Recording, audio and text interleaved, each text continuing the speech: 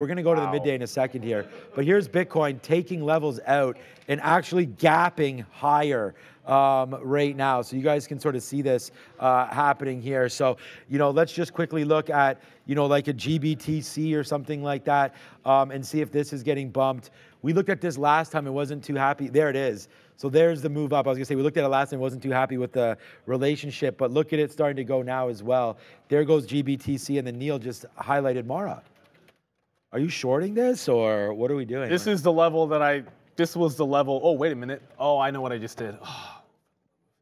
I key, no, I keystroked my, you can put a stop in before it gets to a level, uh, but I put in the wrong price and it punched me out the second I had the stop in there. I was just short. Oh goodness. It, it was actually, I, it made money because I'm actually short. I was short and actually made a couple of cents there. But uh, the idea was to be short off of yesterday's closing range top. It got into that spot. There was no turnaround. It broke local high, got into the bottom consolidation there, and 23 and a half looks like the top of that zone. So I want to get back into the short to that level. We talked about waiting for it to get to your resistance zone. I just shorted it with you. this is where this is where you have to be super patient. Previous support turning into resistance, well, look what happened when it got to yesterday's low. It pulled back into 22. When it broke the high to go into that range, this is this is essentially like in the aftermarket, uh, it got to about 23 and a half there, and that's the bottom range for the entire.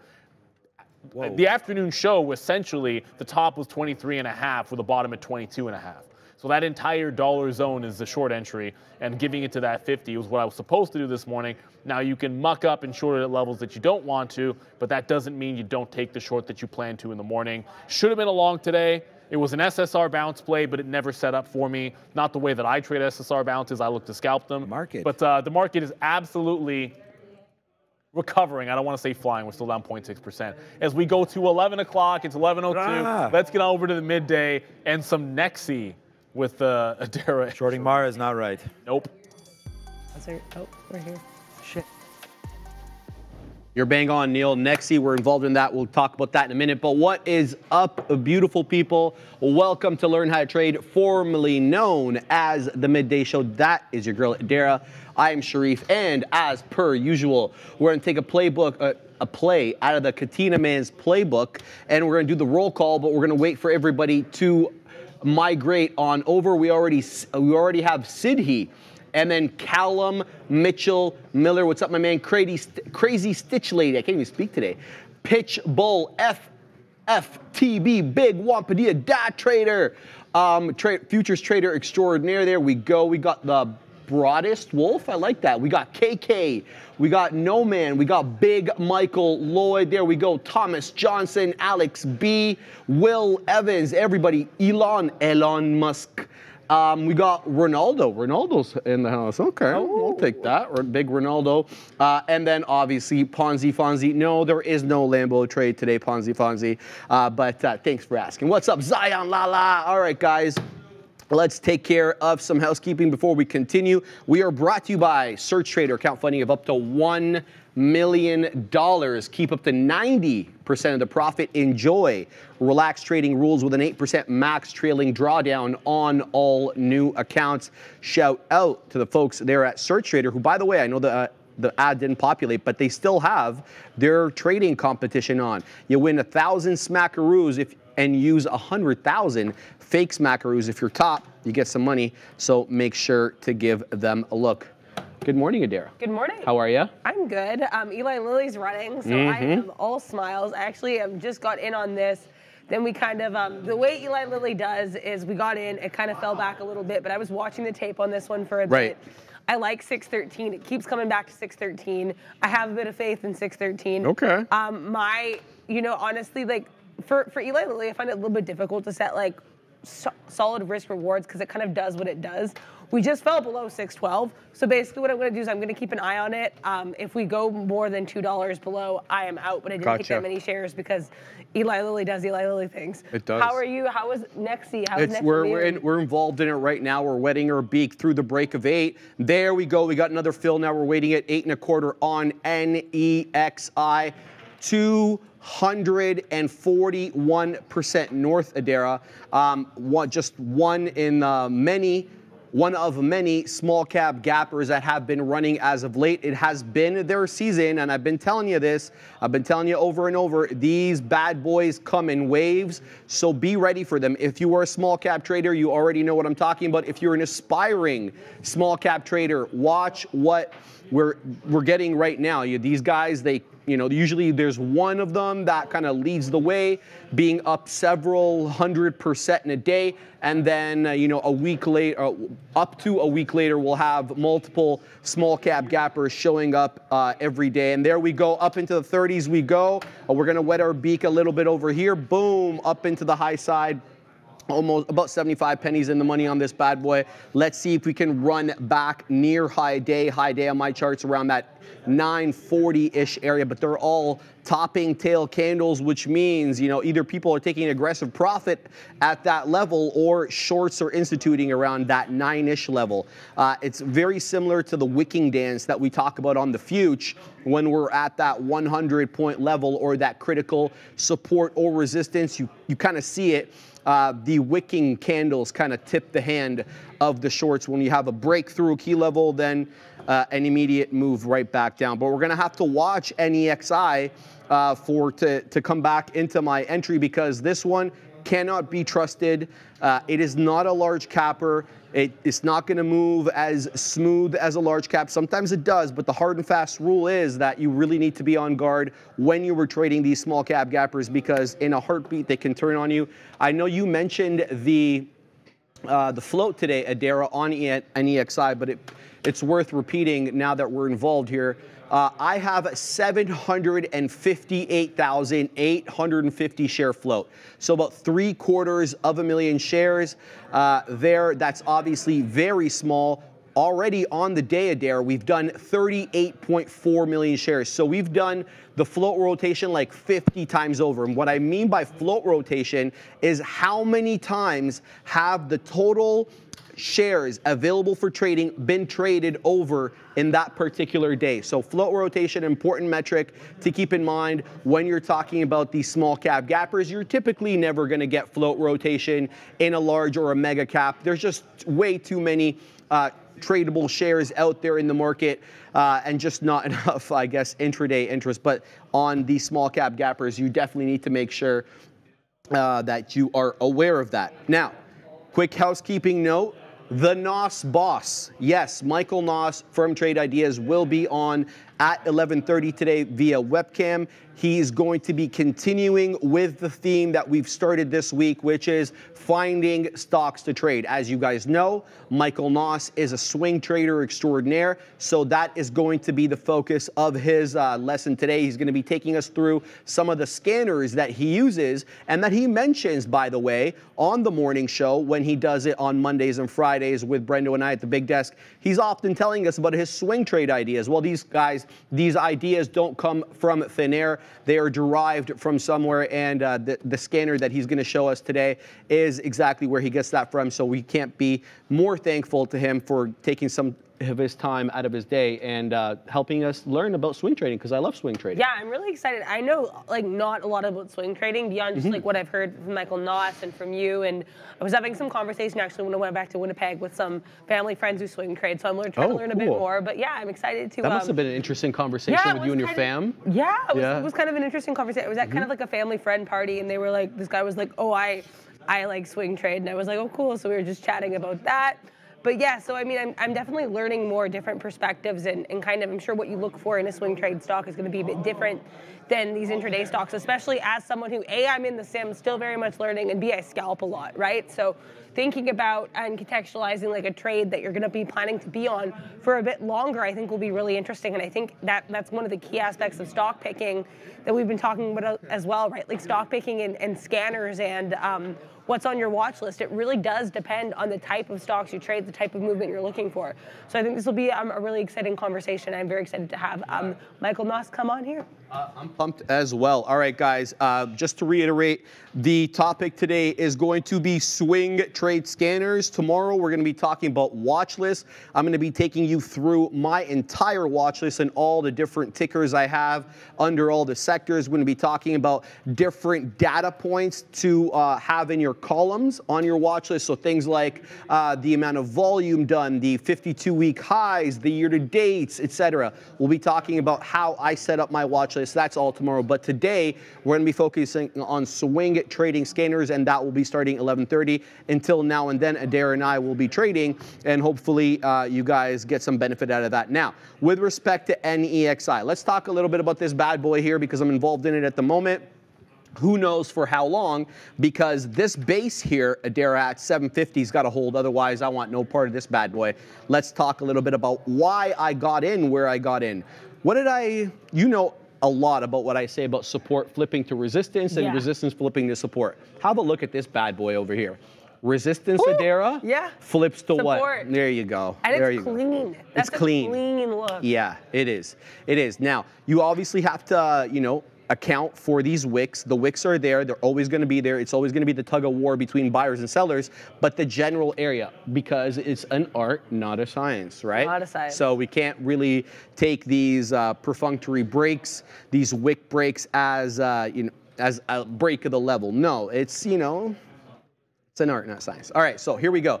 So this one was a fantastic one when I was watching it earlier on at around um, yeah 8:30, right before we came on the air. I was watching it around right here, and it was doing the wick dance with six bucks. It kept getting above six and then retracing below six. This over here means to me that shorts were getting involved at that six dollar level. When you have these topping tail candles, it is a telltale sign that shorts are getting in especially at key resistance levels like the whole dollar level or uh, you know VWAP if VWAP is in play on that particular instrument on the day. So this was uh, important to me because I saw that there were shorts that were interested in getting in this bad boy. So I was worried right? Especially if a, a bigger uh, a bigger account came in and really pushed this bad boy down. I didn't get involved with it because obviously I had my morning duties to attend to. It came back into six previously where it had resistance because we knew shorts were getting in around there, and then it did the exact opposite. It bounced off six. It did the wick dance off six, showing that buyers were overwhelming sellers at six bucks, and then rocketed into that 950 area. Dara, technically the high day is 943, and then we came right back into support. Previous support, which is the crest over here on this high through 750. So we're holding 750 now, but we're awfully close to getting stopped out after you know taking out the majority of the position. But here we go, coming back into 750, and so if this one breaks. Uh, 750 decidedly I will hit the flatten key to get rid of this bad boy, but clearly there's a buyer here at 750 as it is holding. Ooh, that's uh, that was well. really interesting there at the 750 level. Clearly there's a hidden buyer at the seven and a half. Let's see how this manifests because as quickly as that buyer was there, as quickly as they can pull the order or they can get overwhelmed with a bigger seller. But 750 holding for now. Not surprised though, as we talked about that area being uh, support previously, resistance Adair.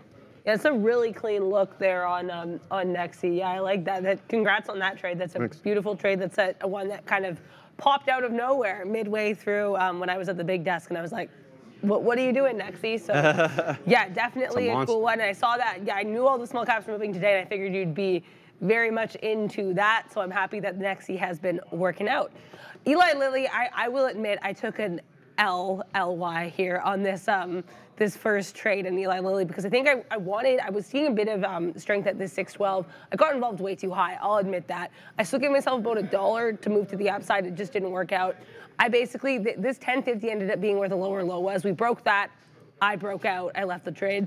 Trying to get back in around this 1125. Um, so if we can get uh, to 11 or 61125, 1125, 61125, if we can get to that point. Um, then I'd be really interested in a long, and I would take profit out probably around the 613 because I like previous high levels for profit takers.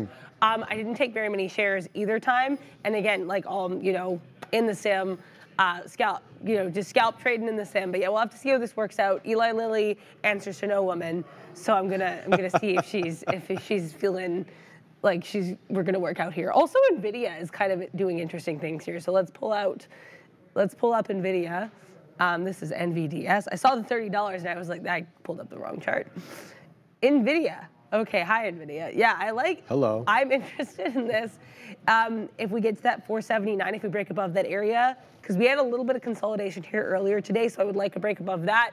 Then you know I would be taking some profit at this 481, 481.25 because I like just trying to get out here before it gets um, too late. Also, Y Brothers United, I need more ginger tea with honey. I do have a little tea here that I Yep, made yep, before yep. with, with honey. Um, but yeah, so I mean, yeah, I, I do like the look of, but yeah, thank you everybody for the, the support, I appreciate it. But yeah, I mean, I like the look of an NVIDIA long. This is very much, look at also the support that we had at 474 Beauty. earlier. Like this is That's like really good. Yep. solid. So I, I feel pretty good about this, even though we're still slightly down on the day. I'm also eyeing Tesla, but I think Tesla's got a lot of work to do before I look at that one. Because um, we, we looked sort of, we were about to break above VWAP, and then we ducked back below. We're kind of holding this um, 9 EMA pretty well, actually, this 239 area. And I mean, one could argue you sort of steadily stepping back to the upside, but we're down about 3.75%. So I'm going to wait on that. Also, it looks like I got filled in Eli Lilly. So I should, um, we got a Philly here in Eli Lilly. Um, as long as we don't make a lower low, I'm going to stay in this. Um, right now we're down about 50 cents, but like I said, not very many shares. Just trying to focus on getting in, getting out type thing. Good stuff. Yeah, thank you. Mike Cron, perfunctory. Uh, sorry, misspelled. Means carried out with minimal of effort. Good word. No, thank you, resident uh, dictionary Michael Cron in the chat. Uh, yeah, it's a word that I like to use off and on. Sometimes we'll use it more. Uh, sometimes, uh, you know, it'll fall out of favor and you won't hear it for a while. But uh, yeah, it's one of those ones that uh, the chat seems to like for whatever reason. Um, uh, I wanted to mention about um, some other small cap gappers here. I'm just trying to keep my eye on NEXI because I don't have a stop in place.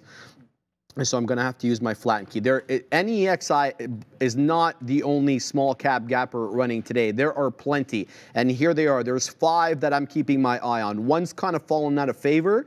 The other four are still in play. They go by A, B, V, C.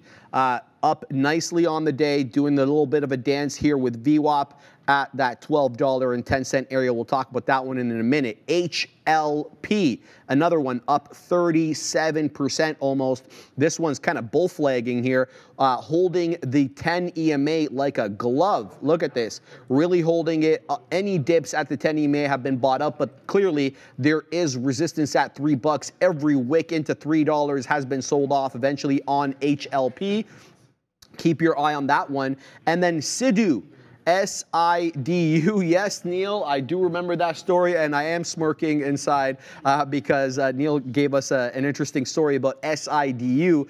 Uh, with respect uh, to uh, a person his friend met in the drunk tank one, uh, was it New Year's Eve? It was just a random weekend. I like that you added the New Year's. Okay, okay, okay. It wasn't it wasn't New Year's Eve. It was a random weekend. SIDU up 69.15% today, finding support here at the 11 and a quarter area where VWAP is now back into 11, almost 12 bucks. This one's really pumping here. Let's talk a little bit about the deets on Sidu uh, with respect to float. Uh, the float on this bad boy is one moment, please. Yeah, very small. 764,000 shares, very similar to NEXI is SIDU. They're both uh, very micro float, you could call these. So these are the five that I'm watching today in small cap gapper world. NEXI, LBPH kind of giving up the ghost now, but still up on the day. SIDU, HLP, and ABVC. That one is also at that $2 mark at VWAP as well. So we'll see how that one does. I got to tell you though, with respect to NEXI, I am cautiously optimistic about this 750 level holding. Yet there is this other side of, to, me- uh, of me that is more uh, that is growing in pessimism, and the reason is is because every single um, ascent is lower than the previous ascent. That typic that translates into lower highs. Okay, and lower highs with a flat bottom at 750 is a descending wedge or descending triangle, and that is what we call here a flat bottom break. One of the possible flat bottom break scenarios that you can get in trading. That 750 though, um, you know, looking more and more likely that it will break below 750's VWAP, which is hanging around at seven and a quarter, seven and one fifth in and around that area. But the trade will end for me if that 750 level is broken. We're in at 755, so that's about five pennies worth of risk. But the lower highs making me uh, quite concerned here that we're not able to make any higher highs.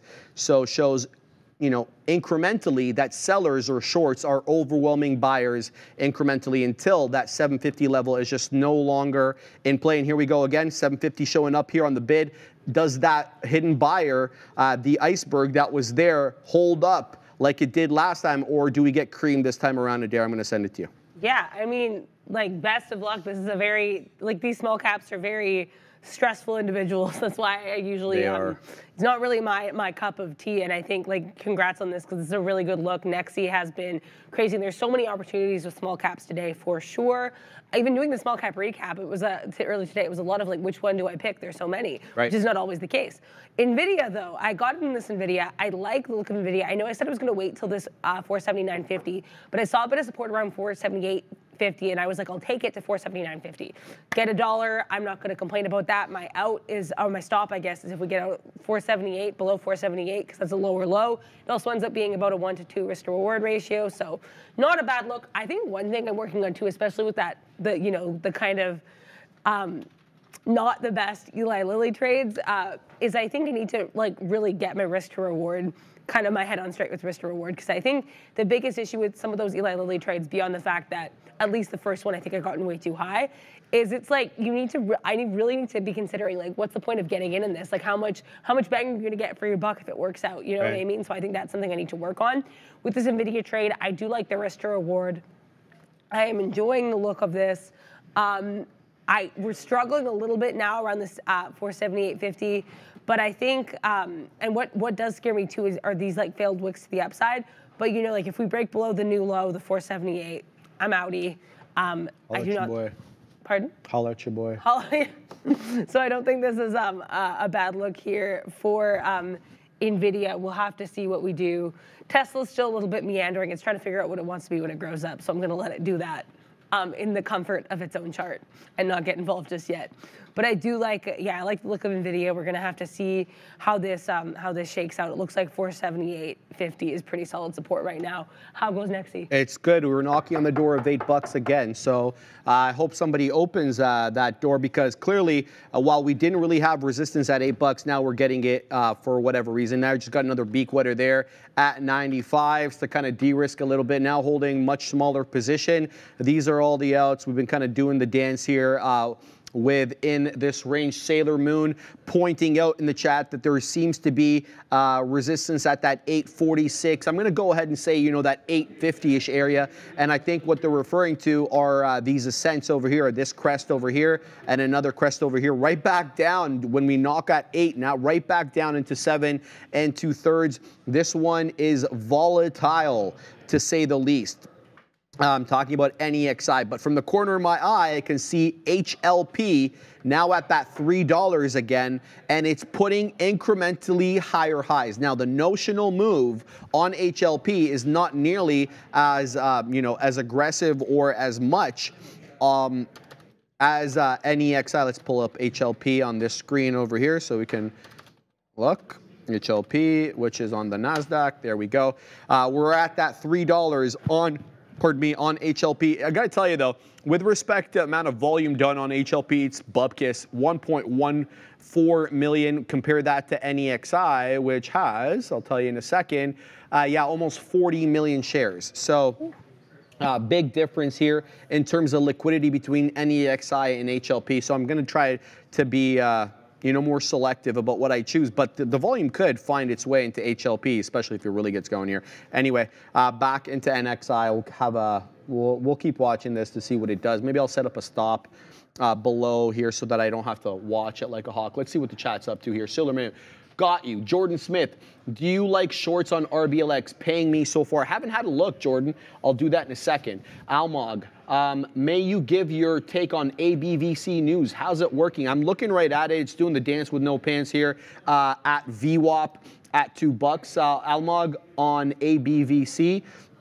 It's putting incrementally lower highs and lower lows, so I'm a little concerned about that. But it's still one of the main major runners that I'm keeping my eye on. ABVC up over 70% at around 74% at the moment. We'll get to that one in a sec, I promise. Uh, Callum Mitchell Miller, no, that was Sailor Moon. Um, he says, Callum Mitchell Miller says, I think uh, NEXI will be a good one to trade tomorrow. Shout out to you.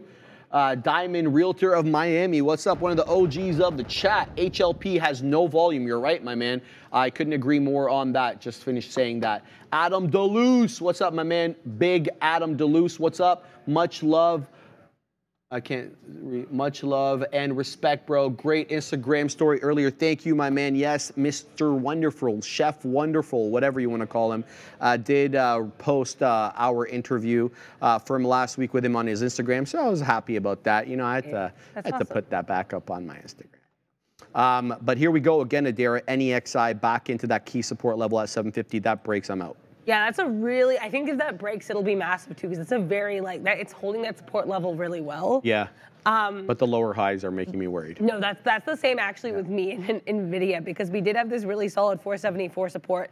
And then I realized I was like, Adara, why did you not think about this? Because we have lower highs. We're down in the day. I'm like, what if this ends up flat bottom breaking? But you know what? I do have a key plan of exit if we uh, leave this 478. I'm No. out. I also had to change my strategy for profit taking a little bit here because um, I was noticing through the scalpulating, I had um, I, I was ready to get out. I had my order like set to get um, to get out at 479.50. We did not quite get there, but we actually did get to 479. So I was planning if we get there, which now I'm kind of doubting. Um, I'm getting out at 479. Um, but or at least partially out at 479, and then I'll see if it pays for the dream. Shout out to Sharif. Um, it looks like now we're holding okay around this 478.30 area. I just think Nvidia needs to you know, to make up her mind pretty soon because I'm getting a little bit antsy here. Um, as someone who's a bit scalpier naturally, just kind of waiting for Nvidia to like you know, tiptoe around this like 20 cent range is a little bit, a little bit dicey for me. But you know, now she's moving back to the upside. So there we go. Yeah, I think my biggest, one of my biggest things for trading, and I know Sharif and I had this conversation earlier on, is I'm working on my patience. It's a it's a big thing for me, and I think that's why I like scalping. And I think also we were actually we were having this conversation earlier today too off camera. Um, it's just the idea that like I think you know you have to kind of stick true to who you are as a trader. And I think with that in mind, like you know I I do think I'm naturally scalpier, and I think that's not a bad thing. But I think staying patient in the scalps is something I could perhaps work on a little bit of food for thought here. Also, yeah, so I did get out of Eli Lilly with some losses on both my attempts to trade that, but now Eli Lilly is back to the upside. If we make a new high, I might take the smallest, like a scintilla of shares, the smallest amount of shares. I might hop back in, but I'd be very cautious just because Eli Lilly and I have not been besties right now. Apparently, NIO's moving here. Fatima and Alex saying NIO's popping. You want to have a look? Let's look at NIO. Ooh. Where'd this come from all of a sudden? Yeah, Usually Chinese ADRs don't NIO. movement day like this. Yeah, well, I know Baba as well has been has been popping off a little bit. But yeah, NIO, I it was the I know about the convertible notes here. Um, I don't know if there's anything else. Let me find my Benzinga because I always have Benzinga. Oh, there it is. There we go. Um, NIO. Yeah, you want me to have a look uh, for uh, what's going on with NIO? yeah, here it I'm- not seeing. Shares are trading lower Wednesday. The company announced a repurchase right notification for its 0% convertible senior notes due in 2026. So this is typically bearish, but for whatever reason, it seems to be popping up, Adara. What to know? weird. NIO said it is notifying holders of its 0% convertible senior notes due in 2026 that each holder has the right to require the company to repurchase all or any portion, multiples of $1,000, of its notes for cash per its indentured date, January 15th, 2021. So I'm not really sure how that is uh, bullish catalyst, but uh, the market liking that for whatever reason, and uh, there you go. Okay, Adara, before I send it to you, there is the flat bottom break on NEXI, and this is why I got out of it when it came into that 750. There it goes, descending wedge, guys, lower high, lower high, lower high, lower high, lower high, all with that 750 flat bottom. Saad Mahmoud, shout out to you in the chat. He pointed that out. He's like classic flat bottom break on NEXI, and that's what we were saying. That's what I was concerned with, but the fact of the matter is, it was holding that 750. We were able to profit off it and didn't take any L's on this. So please this punch, as Adira likes to say, on the trade on NEXI. But the fact of the matter is that 750 came and went and now the shorts or the sellers are in control, at least for the moment. We are at VWAP though on NEXI. That's the next kind of level we need to concern ourselves with. It's around that seven and one fifth area, around that yeah 717 on this chart. Let's see on this chart. Yeah, 718 or so.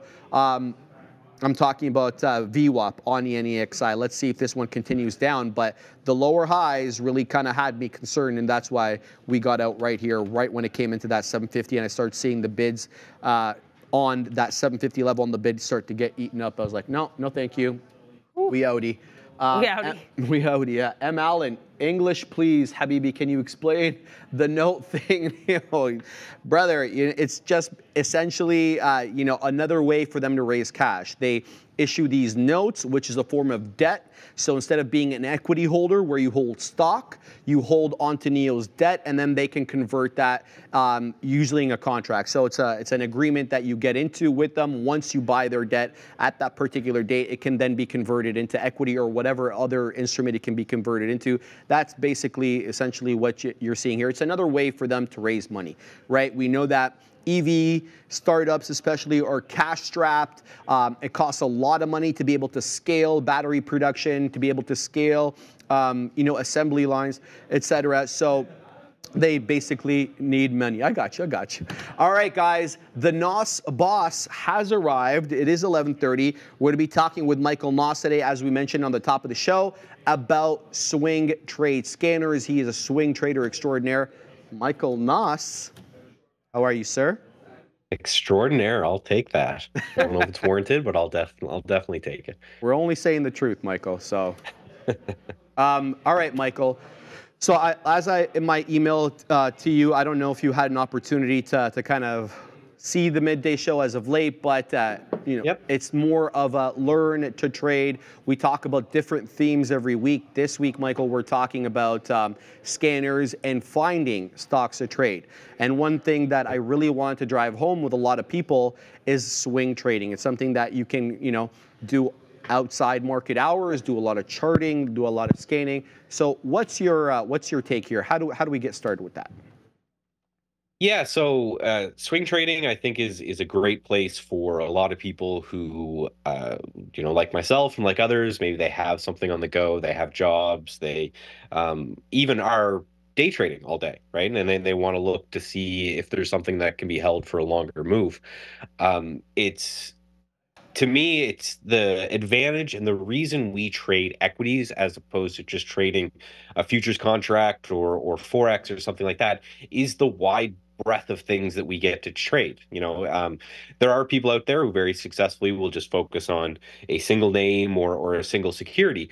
But when it comes to swing trading, there's going to be times that everything or anything is in play. So it makes sense to utilize the scanner and to and to try to figure out kind of what hits your your style. So, right, perfect. I see up on my screen here.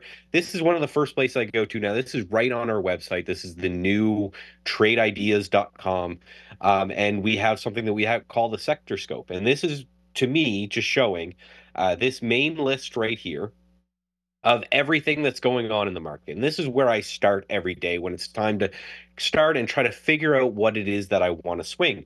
Because A, I want to know, hey, how's the market doing? But I want to know each individual sector. So what this heat map is showing us, it's showing us where the strength and where the weakness in different sectors are. You can see UNG, the is big and green right there. So we know that natural gas is gapping up and actually doing really well today. Uh, FXI, which is China, big uh, big big cap China, that's doing very well as well. And then we have TAN, which is solar, and that's gapping down. So this gets me a general feel. Now you see, even though the green is very big, you see more in the red boxes than you do in the green. So right before I've even gotten to look at the market or done anything like that, I have a general feel of what's going on.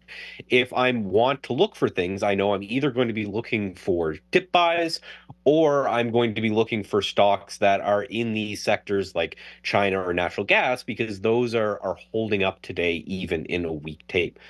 Um, from there, you know, there's a kind of a wide breadth of, of things you can do. But I also like to go and, and look at this chart down here, which is our uh, advancers versus decliners. So it's basically just showing me the same thing. How many stocks are up today versus how many stocks are down?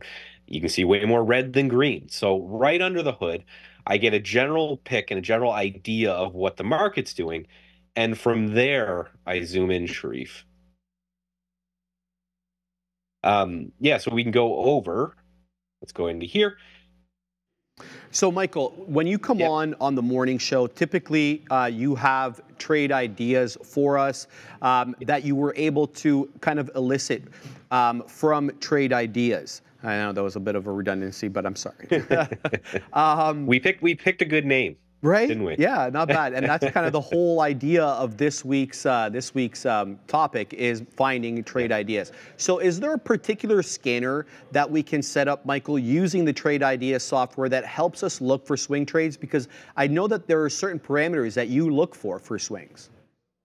Yeah, I've got a couple picked out. I've got a couple for the people who like gappers on my screen here, and then I've got a couple for people who are looking for more uh, longer term swings. So um, we can just get that out of the way for now.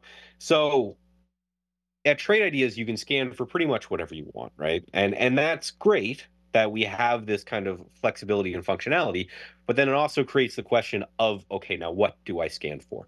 Um, so I'm going to go over some of my process when it comes to the day. Just know that if you don't like this process or if there's something you want to tweak of these, you certainly can do it with the product. So first thing I want to look at right away is gaps. Um, and I measure gaps a little bit differently. I don't know how much we want to get into the nerd speak, but most of the time you hear gaps measured as a percentage or a dollar. The stock's up $5 or it's up 3%. For me, and one thing that we can do in trade ideas that I love is looking at gaps compared to how much that stock normally moves. And we do this with a standard deviation count. Um, so when I take a look at, at Nexi, uh, NEXI, which I know you were you were talking about while I was in the green room there, um, it's up 200%. So obviously that would stand out right away anyway. But I know this is 20 standard deviations. Now, again, without getting into all the nerd speak, uh, it essentially means that this is a very, very, very unlikely event, even for something that if you're looking at the daily chart on Nexi, gaps quite frequently. So that's the first thing I want to do is I want to look to see, is there any theme to the gaps of the day? Is there any themes of, of anything that I'd be interested in, right? The other day we had both up and down the Bitcoin miners gapping, all of that. Now, that's great for someone who wants to chase momentum. But if you're someone who's more like me and you want to get your setups ahead of time, I'm going to have two scanners that I'm going to push you to. And again, I can share this entire layout. If you come get hit me up on Twitter, uh, you can just, or uh, go to trade-ideas.com and, and do the help there. I'll give them this link so you can share. Uh, and the two things I want to focus on is one, TI Strength. So TI Strength is an algorithm that I built over here at Trade Ideas, and it essentially ranks all stocks in the market by how strong they are based off a whole series of proprietary indicators. Um, and basically incorporating all of these different well-known indicators and some proprietary ones to give us an idea of what is weak and what is strong. So for example, if it's above its 200-day moving average, it's going to get a couple points. If the MACD is showing positive, it's going to get a couple points. And what this does is every 30 seconds or so ranks the entire market by what's happening in this system. And you can probably see it real-time update here as well. This is something I focus on as a swing trader for two reasons. One, we have the back test. So we know that investing in names that are strong like this and through this algorithm will outperform the market over time. The other thing that I do is it gives me sometimes an early warning sign of when a sector is going to become hot. So I was doing a little bit of scanning before I popped on here and noticed that insurance names, uh, both yesterday and today, are all over this thing when it comes to WRB, uh, UNH, which is, I think, the largest Dow component there is right now, uh, a whole bunch of these insurance names. So I could either use that to play one of these names if I if I want to, or I could just use it to play the entire sector, knowing that that sector is strong. Another one that I want to highlight as a scan that I really love is my short squeeze candidates. Now, a filter that we have that we love at Trade Ideas is just how heavily shorted is a stock. Anyone who's traded through the GameStop or the GME era of a few years ago knows that if shorts get a little bit too wild, things can get can get crazy. And if you're a swing trader and you're able to hold something from the long side for multiple days, these short floats can really come into play. This is what I brought you guys Mara at ten dollars, and that was the main synopsis of it. I think it was forty percent shorted at the time, and I was breaking out of this base. And in that conversation, I mentioned that not only do I want something that's heavily shorted, but I want something that's heavily shorted in an uptrend. If somebody is shorting a stock and that is a bad stock that's going down all the time or or a stock that's going bankrupt uh, like bed bath and beyond did those shorts aren't nervous because they're making money and they can cover any time. And if the stock goes bankrupt they don't have to cover right? They get to make all their money.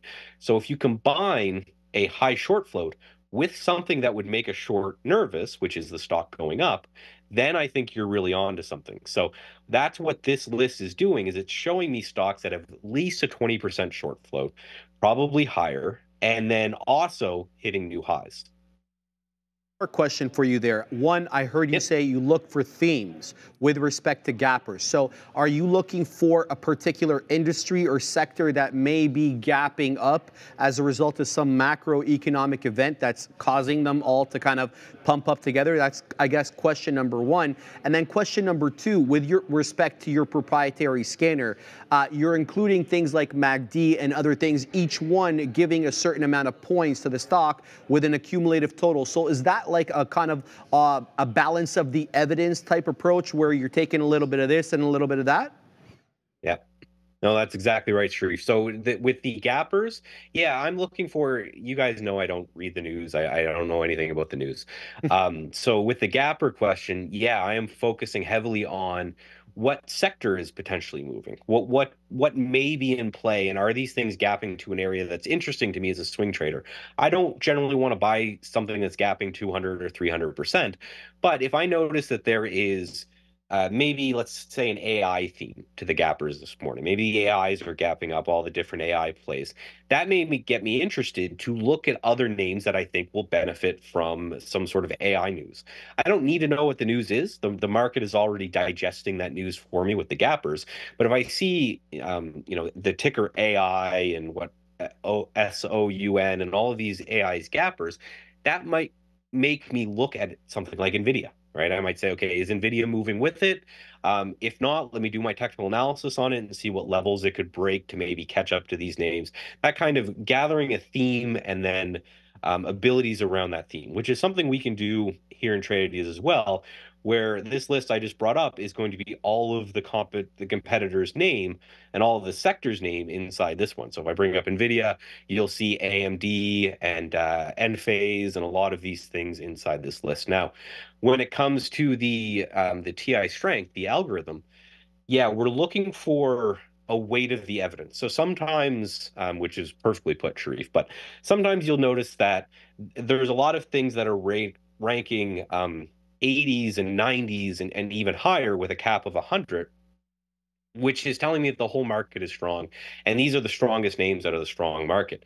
But even when the market is weak sometimes the highest ranking there is is 80 or, or 70s I'm still looking at those because those are showing me relative strength. And I talk about this all the time. And I know you guys talk about it for day trading as well. I want to find the strongest names because they're the strongest names because institutions are either buying them or at the very least not selling them. So as opposed to just waiting for a moving average to cross or a stock to break out or something like this, um, sometimes you're better, like Sharif mentioned, the weight of the evidence approach by saying, hey, just show me the strongest stuff and then let me do the technical analysis on those after that. Yep. I really like that um, market competitor scanner, uh, Michael. I didn't even know that Trade Ideas had that. That's a hell of a one to include. All right, uh, Michael, for the uh, for the viewers that want to use your uh, proprietary scanner, the one that you were just talking about, how do they get that if they're already subscribed to Trade Ideas? Yeah, well, so we have what we call. So one thing I can just show you guys real quick. We have yep. what we call a channel bar. So if you're new to trade ideas and you don't want to customize and build anything like we have, if you go and you just click on your program and hit a new channel bar under TI swing picks, we have it right here. So you're talking about swing tradings and it's loaded right up. You can also go to uh, trade-ideas.com. The support will help you out there. I'll give them access to this, um, or you can just hit me up on Twitter. Any any of those ways, we'll uh, we'll make sure we get that one to you. Michael Noss, as insightful as always. Thank you very much, my friend, guys. Michael Noss, chartered market technician with Trade Ideas. Thanks for being on, Michael. Thank you for having me. Have a good one. You too. Take care. The Noss boss dropping some hot lines there. That was fantastic. Yeah. and the fact that you can just load up that swing trader scanner without actually having to do anything, it's all there built in to the Trade Ideas terminal. Guys, make sure you check out Trade Ideas, tradeideas.com, and use the code TraderTV20 for 20% off. You could have had 25 yesterday if you signed up yesterday. Today, capitalism being what it is, it's only 20. I love that. But yeah, thank you so much to Michael for that. Um, really insightful. I learned a lot. I use trade ideas every morning while formulating ma'am. um, the watch list. The scanners are, I find really helpful, especially because kind of my first experience with watch list has been, you know, at the big desk before I was trading, just looking at the scanners. So can really give you a sense of what's moving. Um, re- very, very good stuff, and really great to have him on here, especially this um, scanner week. So I think that's ma'am. very cool. Uh, yes. So here, I think he did it like this: docked window. So Yeah. Chilean nightmare. Thank you. Docked window. There we go. We'll just call this swing test, right? For those who have it.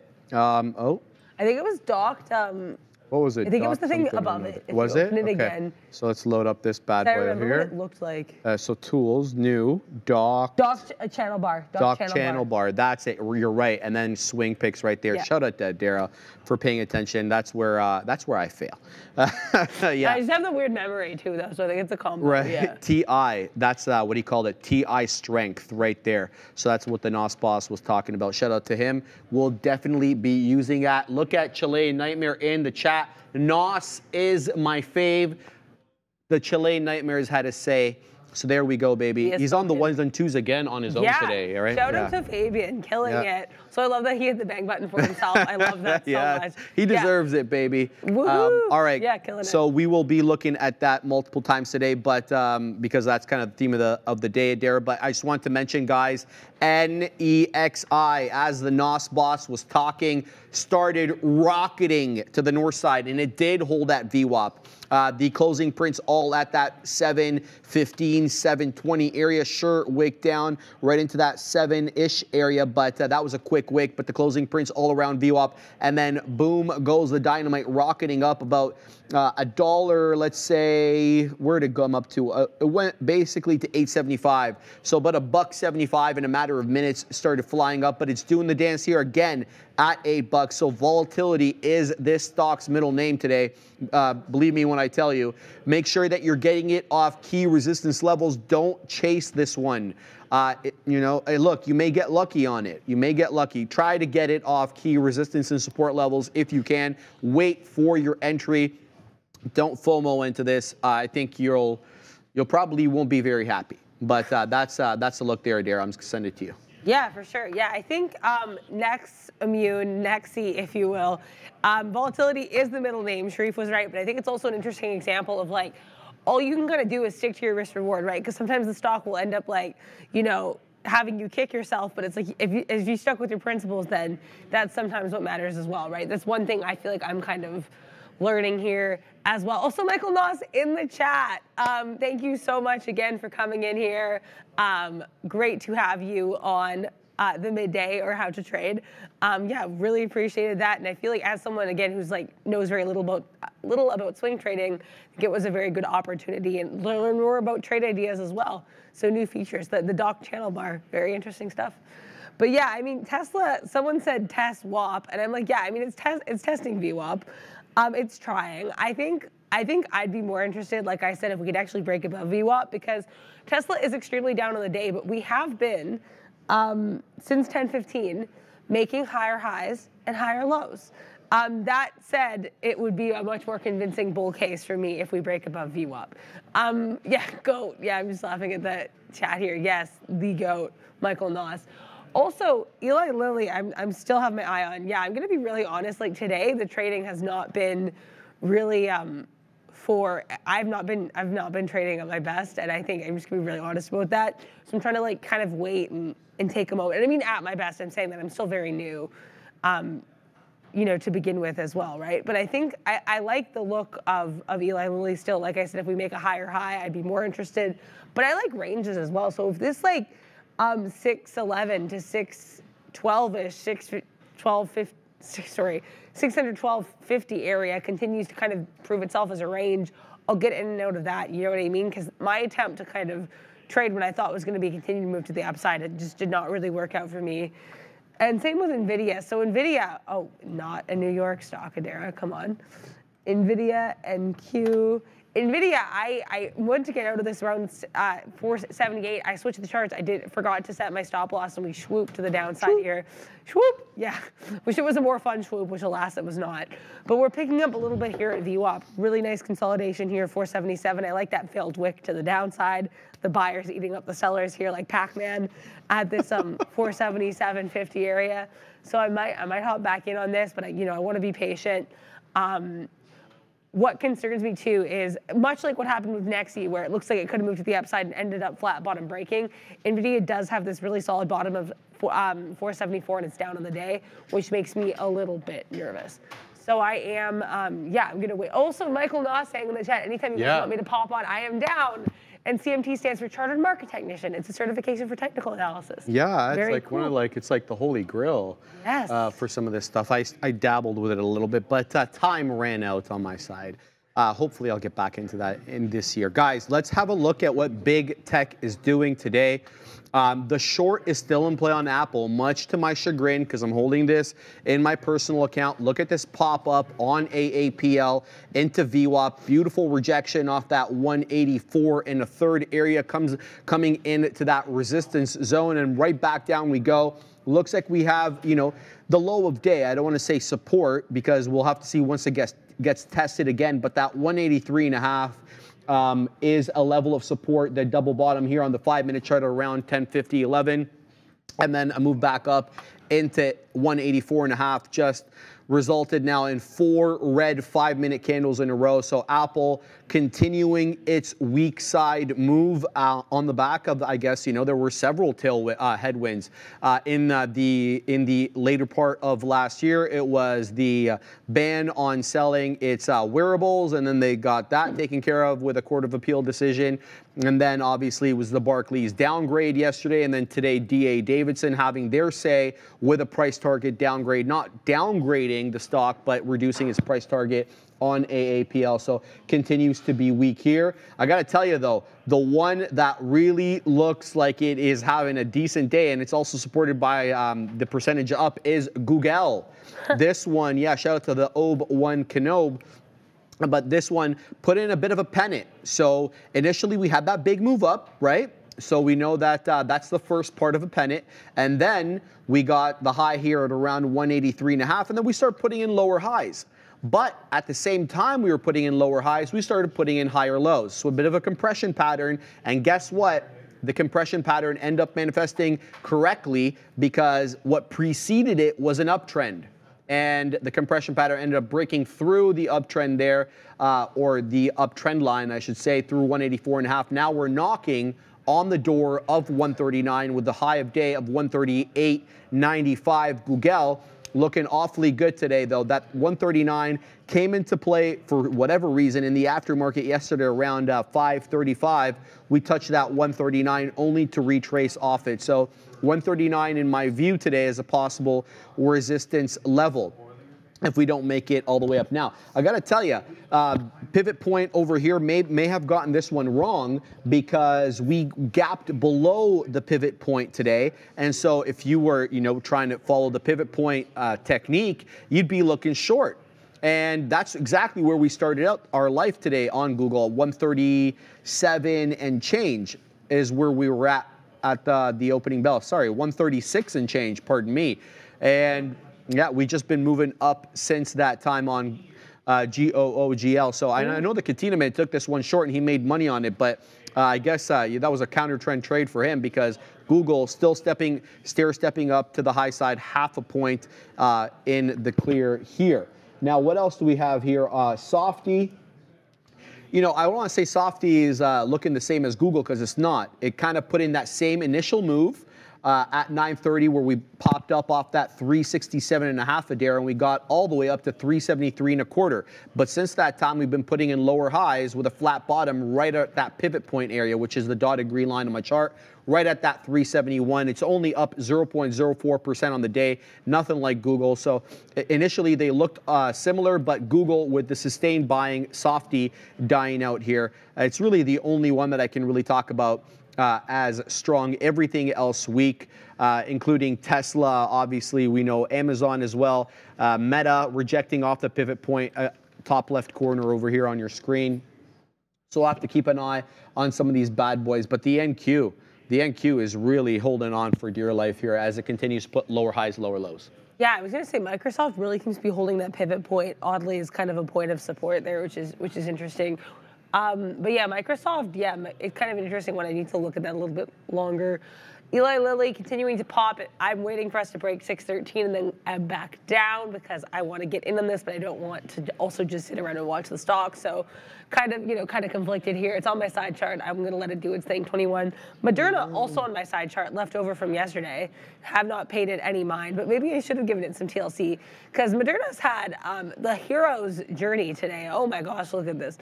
So we we kind of fell from grace a little bit, but we were still up on the like you know we were still slightly positive in pre-market, especially earlier in the pre-market. Um, with a lot of these other names being really negative, Moderna and Pfizer were still positive after having really strong days. Specifically, Moderna yesterday I think closed at around 13% to the upside. We did have that catalyst, the Oppenheimer upgrade, and then also a letter to the shareholders saying sales growth by 2025 due to some vaccines. Then, though, today, uh, today we were kind of, you know, splendidly hanging out pre-market. We fell after open. I think at one point we were down around here, down about four percent. Then, um, apparently, the Florida, the Surgeon General of Florida, saying that um, he would like to halt all the Moderna COVID vaccines for um, test-related reasons. I guess concerned about the safety. So I think that's kind of an interesting catalyst. Hasn't really impacted Moderna, still to the upside, but definitely one that I've been keeping an eye on. Um, in addition to the fact that it was already on my side chart left over from yesterday, I need to refresh my side charts more often. Sharif's very on the ball about that, and I am less on the ball about that, refreshing the side charts.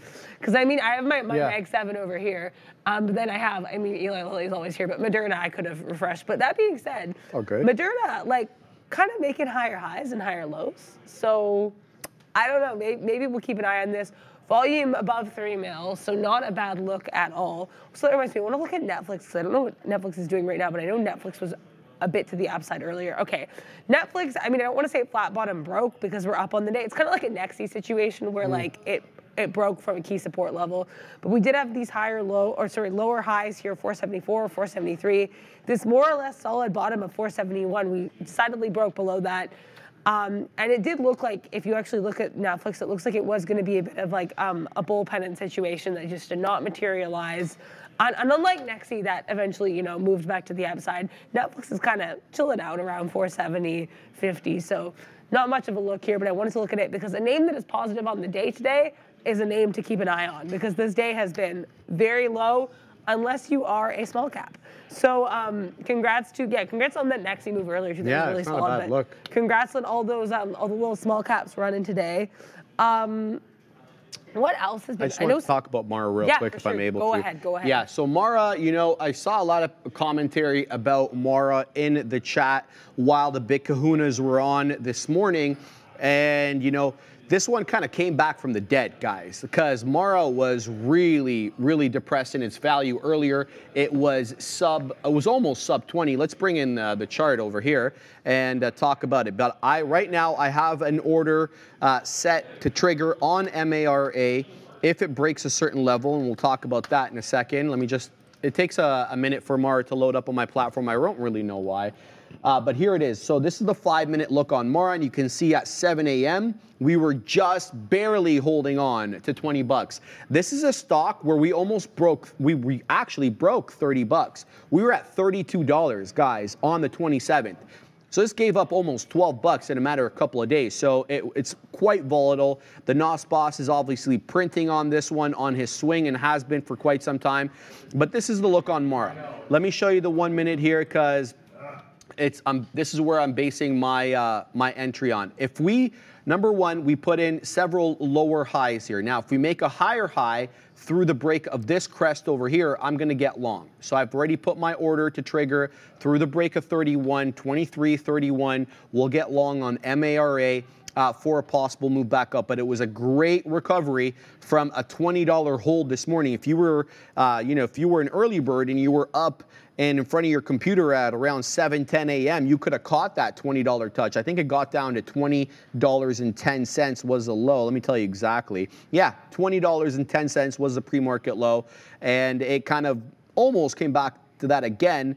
Uh, the uh, opening, uh, the implied balance open right at 9:30 came back into $20.39. Now we're talking a 23.67 high uh, off this big move up here at around uh, yeah 10 to 11 or so. It really started to get going here, coming off that 22 and a quarter, moving up into 23 and two thirds. So that's a hell of a move there for a $20 name within uh, a 10 minute span. So I, I put a resting order on MARA to take long if we can get above this key resistance area. My out will be the break of $23, despite the fact that the trough is right here at 23, you know, let's say in two thirds, 23 and three quarters in and around that area. But I'm expecting Mara to continue to move up at least to test previous uh, highs at 23 and two thirds if it can break above this key resistance zone over here, which is uh, which would be a new higher high. But if we continue to reject that 23.30, then I won't get involved in this name until uh, we can see some more strength on MARA. But great look today, and it's been a great look for this uh, for this name for for quite a while. I mean, I looked at this uh, year-to-date move last year. It was like 600% or something crazy like that. So, yeah, for last year. So we'll have to see if we get filled on MARA, but there's clearly a seller here. You can see on the book at 30, and every time we come around into that 30 area, we are rejecting, but for how long, we'll have to wait and see. Resting orders in place there. Yeah, I think that's a, a really good look, and um, yeah, I think no, that makes sense that that area because that was a really strong area of um, resistance or support earlier. I think to Tesla just broke above. I'm seeing some mention of Tesla in the chat. Shout out to Renata here. Um, Tesla just broke two four, uh, 240 and then kind of dipped back below. Like I said, Tesla decisively breaking VWAP is of interest to me. Then if we go back and do another dip, I could do a dip buy. And I say that even though we are down on the day because higher high, higher low, um, continuing. Um, I'm interested. I am intrigued. I am enticed. I am insert word here. I do like the look that we're seeing on Tesla. Also, Eli Lilly looks like we, we made a new high. It looks like we're ready to dip back. So I am like a little shark, hungry at the water for for Eli Lilly um, to kind of have this this dip buy opportunity here. I I just kind of want to range play this. Um, kind of get in at the dip, get out at the top. If we continue doing that, I'm interested. Um, IK saying, "Oh, I made 400 in Lilly. Thank you. Uh, no need to thank me. Congratulations to you." Eli Lilly um, has treated you very nicely. I, I've just, I, I was going to say she's not treated me very nicely, but I also have not been at my strongest today trading. I'm going to be really honest about that. So um, yeah, there we go. Um, what? Yeah, Tesla's still hanging out um, at at 240, so nothing to report there. Someone just said test, check Tesla in the chat, but yeah, not not doing too Well, much. Apple just I made a, a new low of day, Ooh, Dara. Apple. Yep, AAPL. Let's look at Apple. Um,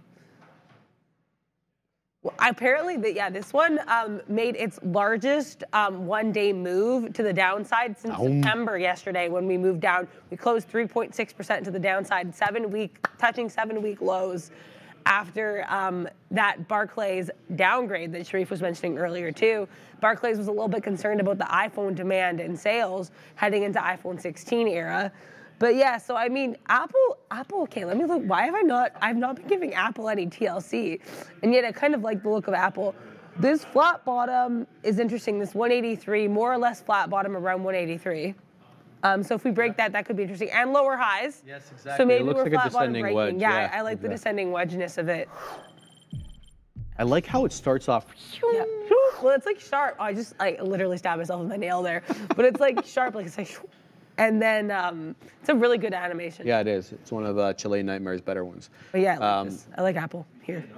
They're all good. I'm sorry, Fabian. It's just I guess I have an affinity for that one because I like flat bottom turn, breaks. yeah. right? Uh, all right. Where did you find this? Says uh, Tim is in. I'm not sure what uh, you're talking about, Tim. Uh, let me know if you're talking to us, and maybe you're talking to somebody in the chat. But yeah, Apple uh, continuing to head to the downside, guys. And you know, this is uh, look. I, I heard a lot of different takes on some of the pods that I listened to about what was going on. You know, uh, some money repositioning, big money repositioning in some names. So getting out of some mega cap names to get into some uh, mid cap or small cap names. We've been hearing a lot about rotation. That could be it. Another thing could be why would you want to pay taxes on some of your profits if you were in the money on some of these mega cap names in 2023 when you can kick the can down the road into 2024? Google time value of money. You'll know exactly what I'm talking about. So there is uh, like several reasons why we've been having this weak start into 2024. Whether or not that lasts, your guess your guess is as good as mine. But uh, Apple paying uh, the you know paying the most right now, bearing the brunt of this uh, this mega cap downturn, uh, at least initially, uh, down the most, I would say, out of the seven over, over the past few days. So we'll see. We'll see what this one does. But yeah, be on the lookout here for that flat bottom to break.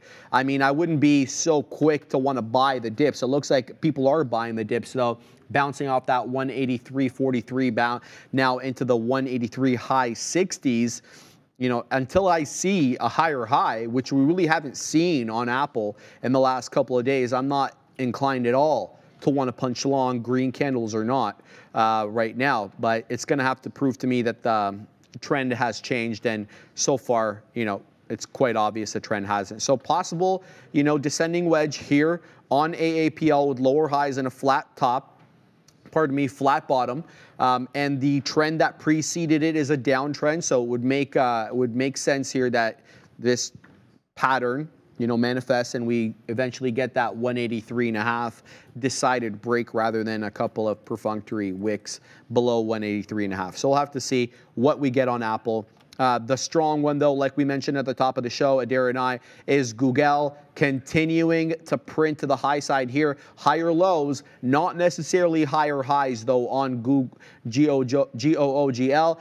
This one is finding resistance uh, just a smidge below that 139 area at 138.95, but the higher lows are telling, and it's holding that 10 EMA quite well. The other one that's just awakening here is TSLA. So this one, and a lot of people have been talking about Tesla. Yes, Diamond Realty Miami. I see you, baby. I see you. He's like, Tesla is making the move up, and yes, sir, it is. So we huadoomed for whatever reason off yesterday's previous close, which was 248 and a half, we got all the way down to 236 and a third. So giving up a lot of money there for really no news catalyst on Tesla. And they beat expectations with respect to deliveries after two misses in a row. So you think that that would be a positive catalyst, but that, that wouldn't really matter if the reason we're selling off is one of the preceding reasons that I mentioned big money repositioning or tax loss, or not even tax loss. Um, uh, basically, uh, kicking down the road, kicking the can down the road with respect to, uh, to profits on some of these uh, on some of these mega cap names that were up big in 2023. They, you want to pay tax for that in 2024. You cash out in 2024. So we'll have to wait and see. 241 uh, a level here on TSLA. It also happens to be S2 if you're using pivot points. Um, the pivot point on Tesla is that 248 level with S1 at 244 and a half and S2 at 241, just a little bit above 241. So we could find some resistance here. We are above VWAP on Tesla, breaking through that 240. We'll have to see how high we get but it is not a bad look so far on Tesla. Recovering a little bit, still down the most out of all the Mag 7, Adair at 3.12%, taking it on the chin. Yeah, Tesla is in for a bit, bit of a rough time. Yeah, we fell yesterday too off those actually strong delivery numbers. I know Rivian had rougher delivery numbers. Let's look at Rivian. And yet Rivian, I think, fell, but not to the extent of Tesla. Now they're, I guess, down about the same amount now. Rivian also having quite the recovery. I like I like this V-shaped retracement, but like uh, you know a reverse V. If we can um, if we can get this um, 2050, because that was the area from where we really fell from grace. So if we can get that 2050, we can truck it to the upside. Pun very intended. I'd probably take some profit around 2080, so that'd be about 20 cents, because that would be where we had a bit of chop and turn earlier, and I would want to be out by that point. Um, Joseph saying um, Tesla is going down because it's reached a sell signal from a technical perspective. There's also the concern that BYD is overtaking Tesla in sales. That I was aware Okay, of the BYD. so here's thing. the. I, I saw a lot of misleading uh, infographics. Yeah, I'm talking about you, Yahoo Finance, um, with respect to that Tesla move yesterday. We know for sure that BYD makes more cars than Tesla. That is misleading. They don't make more electric vehicles than Tesla. They make more hybrids and electric vehicles combined. It is not hard to scale elec- um, hybrid vehicles because of the engine, the ICE engine component. You only need a, a- like a minute amount of the battery that you need in a full EV.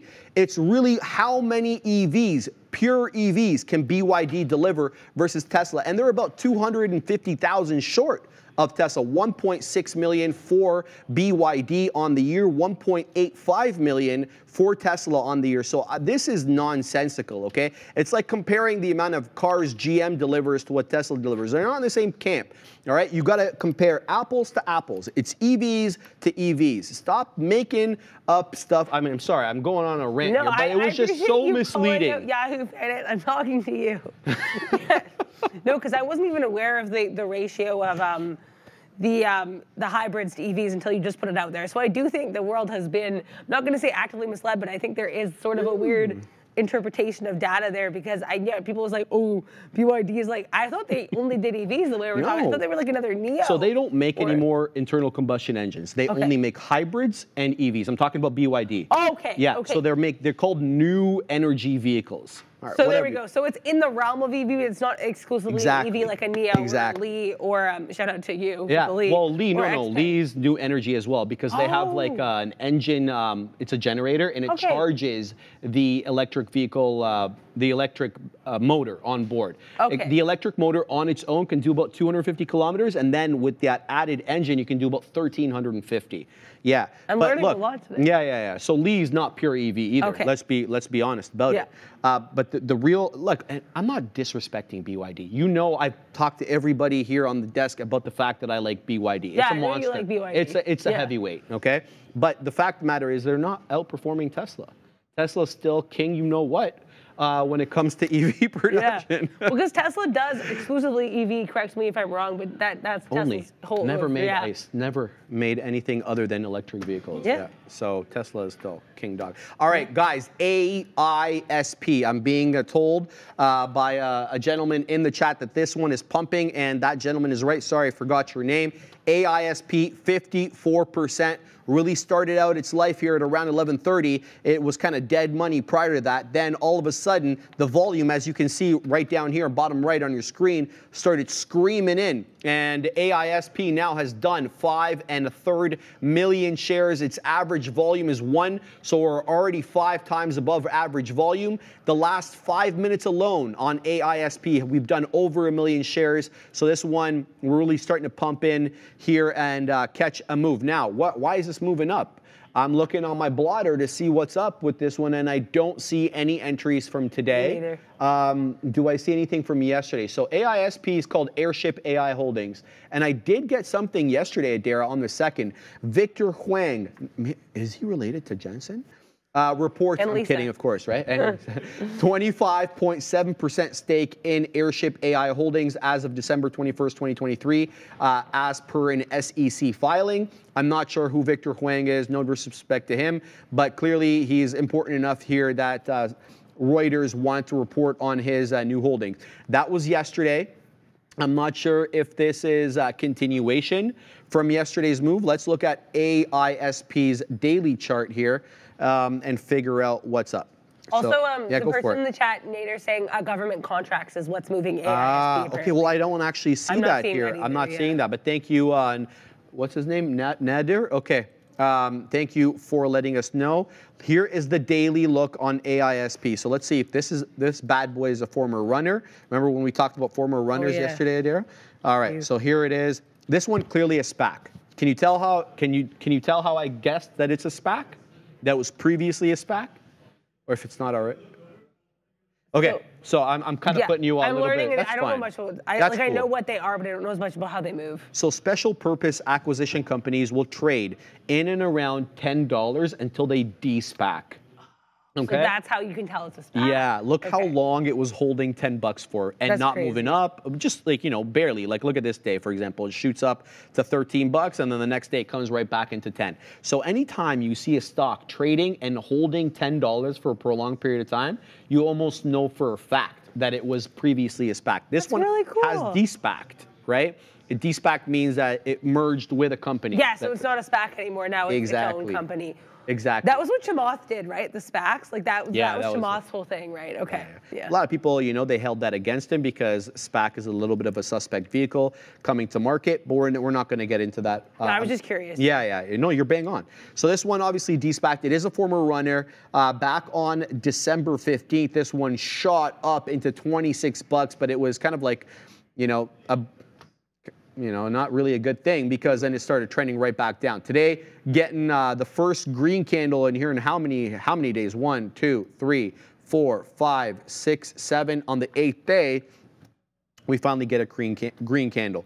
Uh, there is really kind of no resistance level to say, okay, you know, here we're going to expect a lot of selling because of the stair step down, the incremental uh, nature of its move down. There is just so many different levels that we have to concern ourselves with on AISP. So let's just trade the price action here. Let's see what happens. But great move, uh, midday move. You know, coming in at 12 o'clock, 11:30, uh, keeping things interesting here, up to two dollars and 75 cents. Now that we've looked at the uh, chart, let's look at the book. Okay, so it is a little spready. For a two dollar name, three, four pennies at times. Right now it's tight.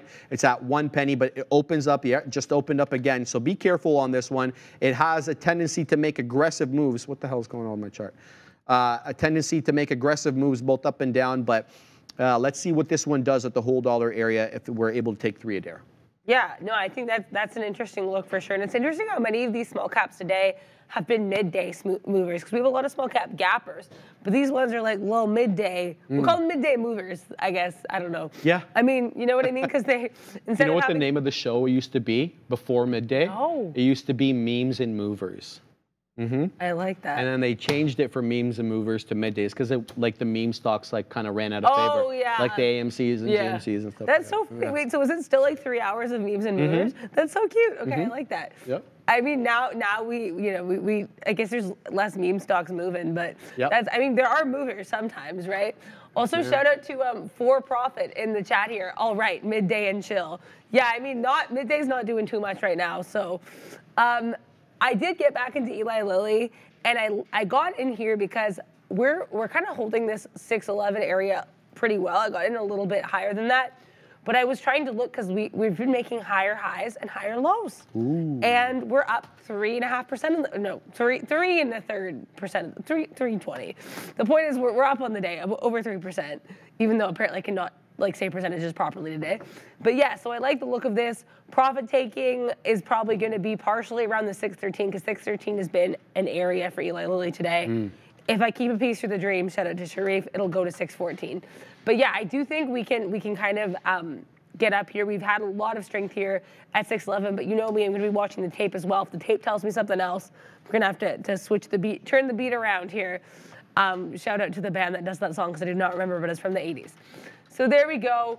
Um, Saad saying careful, never like the falling knife trade. Yeah, that honestly did worry me a little bit here with Eli Lilly. The reason I did get in here though is because we have had higher highs, higher lows. So I, am going to keep that in mind though. I appreciate you saying that because the second I got in, I was like, this looks really rough when I actually just look at where I entered. Okay. But um, but we're holding up at 611.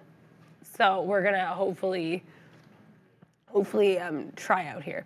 Okay. Um, but yes, that, that's what's happening right now. Nvidia still doing a very interesting. Um, I was gonna say dance, but it's not really dancing. It's tiptoeing. It's it's like do it. It's on point here around VWAP Nvidia. Um, making lower highs, um, hanging out at VWAP. The other so VWAP this um, 477 is a really interesting area for VWAP. The other interesting area support for, um, sorry, for NVIDIA, the, not for VWAP. The other interesting area for NVIDIA is um, 474 because this is where we really had that, that, you know, that strong support area earlier today. I was talking to Sharif about that earlier.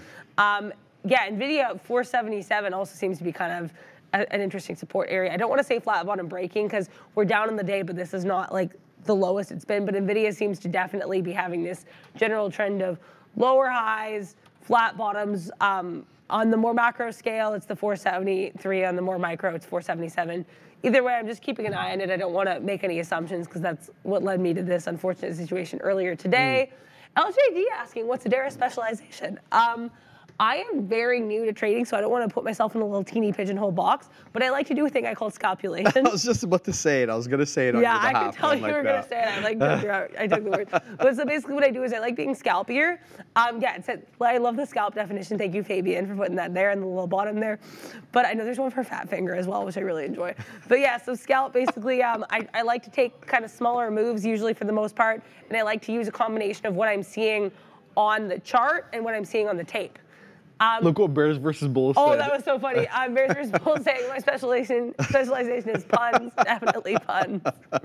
Thank you. Yeah, I- you can specialize in more than one thing. Right, it can be is what I was thinking. calculation and puns. Yeah, I, you can, do both. I mean, scalpulation is in itself a weird kind of pun. Fabian's Chilean making his opinions known. No, I'm joking, but yeah, Eli Lilly still. Um, Adara, Still the uh, the 6'11". Qs are at days lows now. Oh, eh? yeah, I was the NQ or the Qs, whatever your Yeah. uh, inclination. We are at days lows, guys.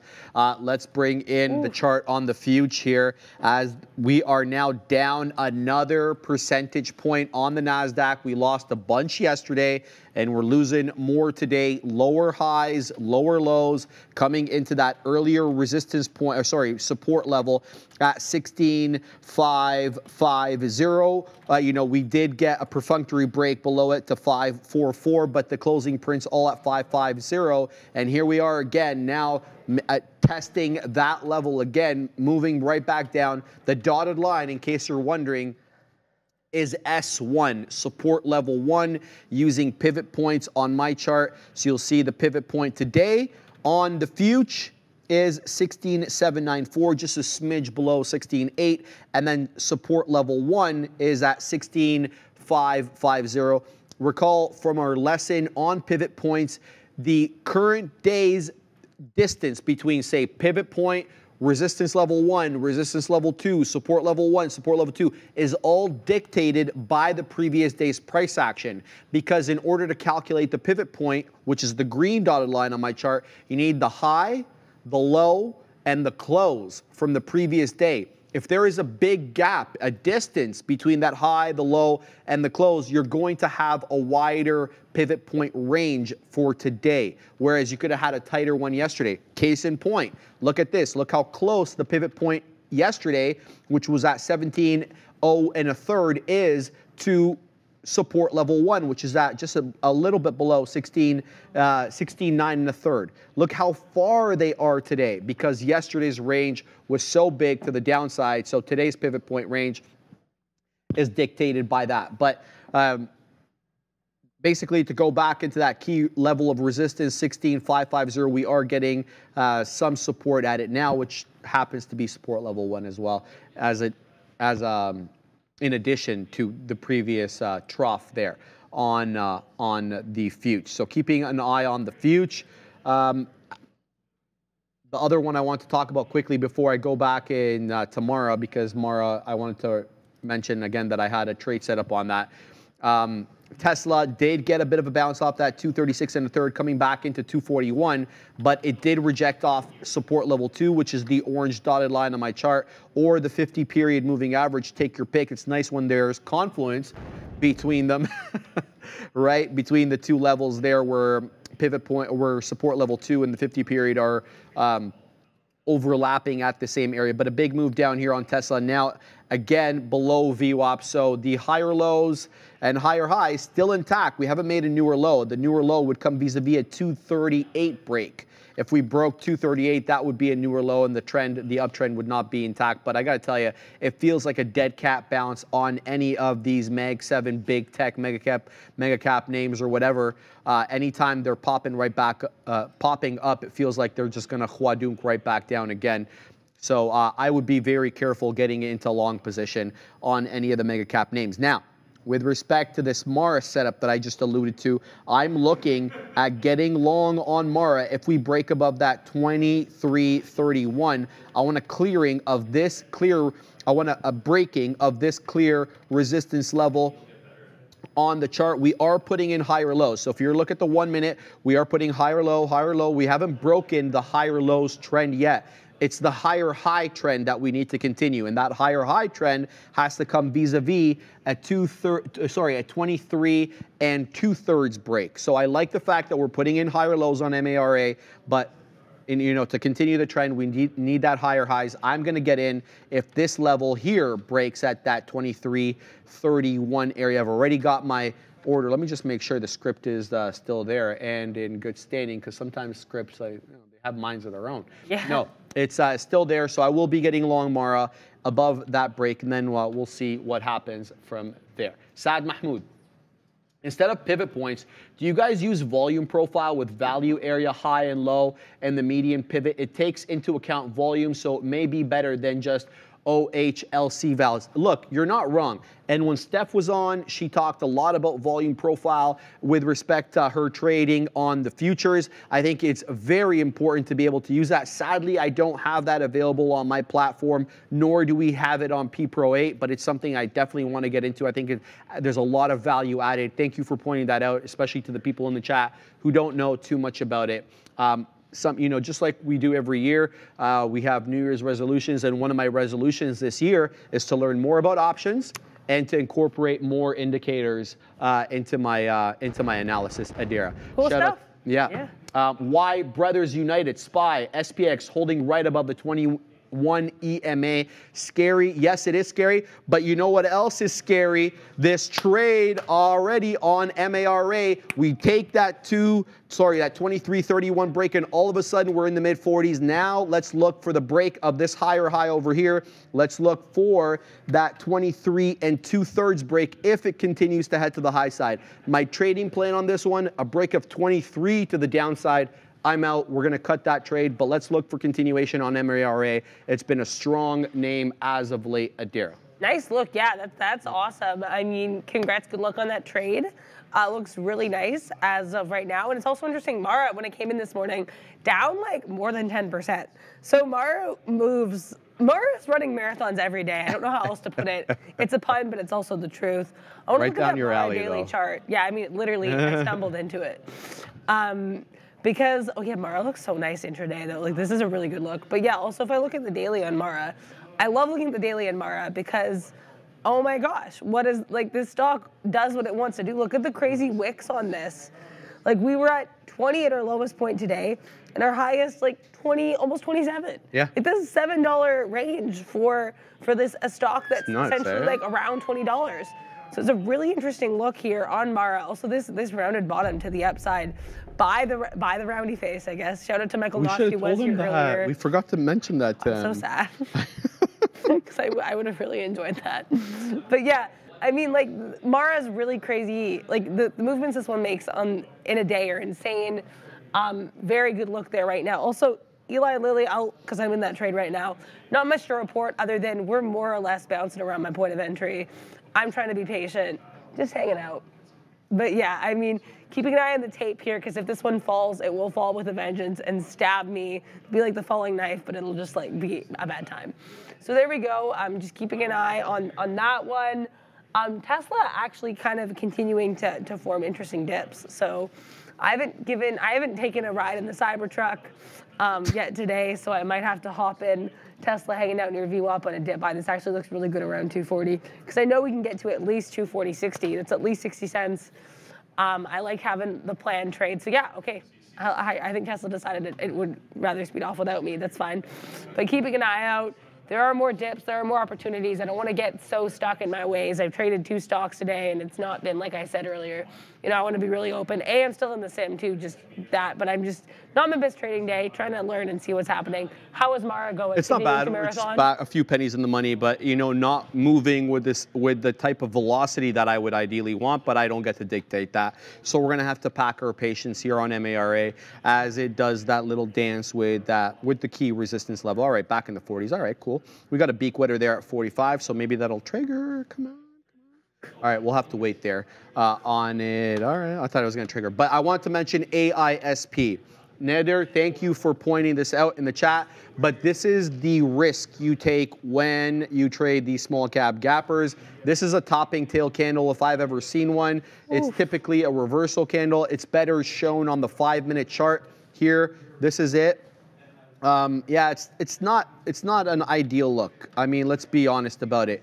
Uh, especially since it rejected right at that three dollar level. Two dollars ninety nine cents is the high. Now we're back down to two fifty seven. Possible level of support here. Not saying I'm going to take this trade, but possible level of support that 241 ish area, which is where at where VWAP is, and VWAP has factored into this. Uh, into this name today. All the dip buys initially on the move up did hold up at VWAP as their key support level. So I wonder if that kind of recycles uh, today where we do get a dip off VWAP, but this is an ugly, ugly candle. Um, you know, anytime you see this, you know shorts are definitely getting in around here, especially at that whole dollar level. Uh, these topping tail candles are, are, are just a dead giveaway of yeah, of shorts at, especially at the, the whole dollar level. And I'm repeating myself, but I'm just thinking here as I talk. Yeah, AISP rejecting now. Keep your eye on VWAP though for a possible uh, interesting trade. Uh, there, uh, we we are going to keep AISP on the trading uh, screen in case uh, anything comes of it. All right, nice. A second beak wetter here on MARA at 45. Stair stepping up incrementally, but nothing to celebrate on Mara. De-risking here, long 31s, looking for a test. Adara of this two thirds area, 23 and two thirds. We're looking for a break of that level. We need the higher high, higher low uh, trend to continue. We have the higher low trend. There's no uh, lower lows here, so it's great. But the higher highs is kind of what's in question at the moment, whether or not we can get into that 23 and two thirds we're gonna chill. Neder already made 5K. Shout out to you, my man. We're gonna spend the money for you, Neder. But uh, yeah, just you know, not everybody's gonna be able to profit off these uh, small cap gappers as well as you. And so what we try to do is try to, uh, you know, advocate some caution so that people don't blow up their accounts and then you know they can join us the next day. But if you blow up your account, you're probably gonna have a bitter taste in your mouth and you're not gonna join us, and that's not good for us, not good for you. So that's why we try to, you know, stress some caution. But no disrespect to your trading. Uh, you're obviously doing well for yourself there. Shout out to you, my man. Yeah, congratulations there. Also, I have a question. So, because I was thinking about this, the topping tail candle. Also Yeah, mentioned go a for dead it. cat Yeah, yeah, yeah. earlier. I'm gonna find a way to word this. Go but for so it. I guess what I know, and and correct me if I'm wrong, but the dead cat bounce is usually characterized by a stock kind of falls to a point and then it bounces up afterwards, right? Is that the dead cap? Can you say that bounce? again? Oh, Yeah, yes, yeah. yes. Well, dead cat bounce is like, you know, when there is just like some relief buying, Okay. but there's no sustained buying. So it's like a quick bounce and then you continue down. So you put in that lower high. Okay, I see. So Yeah. it, it- you're basically just capitalizing on the lower high. Exactly. So it, it, I guess what I'm trying to say is then for, for if you're planning like if you're going to trade one of those and you're planning profit takers, you're definitely like you, you have to kind of plan it with the, the thought it's still going to be lower high, I guess, right? Because you're not going to get like a higher high. I'm, I'm trying to find a way to. Well, I wouldn't be involved in, I like, I personally wouldn't get into AISP. Like, are you Yeah. talking about AISP I right guess here? yeah. I was just curious in general, yeah, with the whole like dead cat bounce. Kind So this is not a dead cat bounce. Um, I, I didn't mean dead cat bounce. Oh, sorry, I meant some of the, um, the earlier. tails. Yeah, I know some of the, the mega caps earlier. that was Ah, kind of I I I was. Okay. I, I think it was late to ask the question. Yeah, I mean, Yeah. the reason I was theorizing or hypothesizing it's a dead cat bounce is because we're number one, we're getting shellacked on uh, all the Mag 7, Yeah. including the Fuge. So unless I see something that's going to tell me, okay, the trend's changed, right? We're not making lower highs and lower lows anymore. I'm going to assume it's a dead cat bounce That makes on a sense. bounce, on a move back up. That's kind of what I mean by Okay. that. You know what I mean? Cool. Yeah. Yeah. So that's Thank you, I appreciate it. Absolutely. All right, here we go on MARA. We're breaking through 50s. Oh baby, uh, Mara continuing to pump to the high side here. We're still looking for that uh, 23 and two thirds break. We're gonna we're gonna put a beak wetter there. Big Patty Ice, your Mara's moving, baby. Where's Big Patty Ice? No, he's, He's not, not here. Yeah, shout out to Big Patty Ice because you know that's all he trades, baby. He's he's known He's the he's around the marathon world. man. Yeah, there you go. Uh, all right, guys, moving up nicely here on MARA, and uh, please the sponge, as Ladera likes to say. So let's let this one run and see if we can uh, continue to extract some more money off this bad boy. Indeed. Um, some uh, robot MRCS mems in the chat. Roblox bounce. Roblox bounce. Let's, not not one block, but all blocks. RBLX. Yeah, I mean, I think, yeah, I think I, I see what you mean. I think what makes me, I guess, a little bit less enthusiastic about a potential bounce is that this one, you know, what this actually kind of looks like the Nvidia chart, which is which is really interesting. But you have, and why I say it looks like the Nvidia chart is you have a really flat, um, clear flat bottom. Here in this case, it's about 41.50. We have some obvious consolidation that happens to be around VWAP, this 42.1 area. What I do like though for a potential Roblox bounce is um, support becoming or resistance becoming support right? This is a huge thing that um, I, have learned a lot through, like, you know, Sharif pointing out to me, so thank you so much. But like 42-1 was definitely a resistance area for Roblox once and twice earlier today in pre-market and then during the session. And then now we've come to find 42-1 as some support. So I do like the look of that. I think if we were to bounce, I would say it'd be off that 42-1. But yeah, generally though, we are down on the day and we're making um, higher low, lower highs. So I would put that out there in general for Roblox. That being said, I do not think it's a bad look at all um, for a potential bounce. I'm just, I think if it were to bounce, it'd be off that 42-1. But like, you know, just kind of contextualizing it with we're extremely down on the day, on a day where the market is a little bit lower too. Yes, ma'am. Um, Greg Newman mentioning SoFi. SoFi was on the watch list today because it had a downgrade from Keefe, Bruyette and Woods, which is a name that I always struggle to say. Um, ooh, SoFi, hello. This flat bottom is really interesting. Are we? We could do a roundy face from here. We there, you know what I mean? Like, I mean, I don't want to make any assumptions here. Is down 14 percent. Yeah, the downgrade. The, it, it's almost the price target was um the new price target six and a half, seven and a half to six and a half. They downgrade. Yeah, it, it's it's not a great look for SoFi. But I have to say, yeah, um, Greg Newman saying, is it ready to bubble up? I would have to see. I, I think the support at 830 830 is definitely interesting. I would not, for myself, I wouldn't make any assumptions. Again, not advice, but just, you know, my reading of the chart. We are down 14% though. That's the thing. Like as Sharif said, like any move to the upside yeah. here, you have to contextualize this with we are down yes. 14%. So I'm saying might be too early to predict that rounding bottom. Yeah, I agree. That's why I said like I, I said it looks like it could be, but I don't want to say anything just yet. Um, because honestly, if you're down this low, who says we cannot go lower? Also, Eli Lilly continuing to bake here. Um, I don't know why I made a weird cake analysis. This is a medical company. you looked at me so confused. yeah, I'm like, did she say bake? I did say bake. I was like I so confused. It yeah, through. it's all good. It's, um, it's not an easy bake oven. It is a, a, a biomed stock. Okay, okay. But yeah, I mean, uh, I guess the, the dosage is working. I'll say that. Oh wow. Um, yeah, I had to, I had to, I had to make up for it.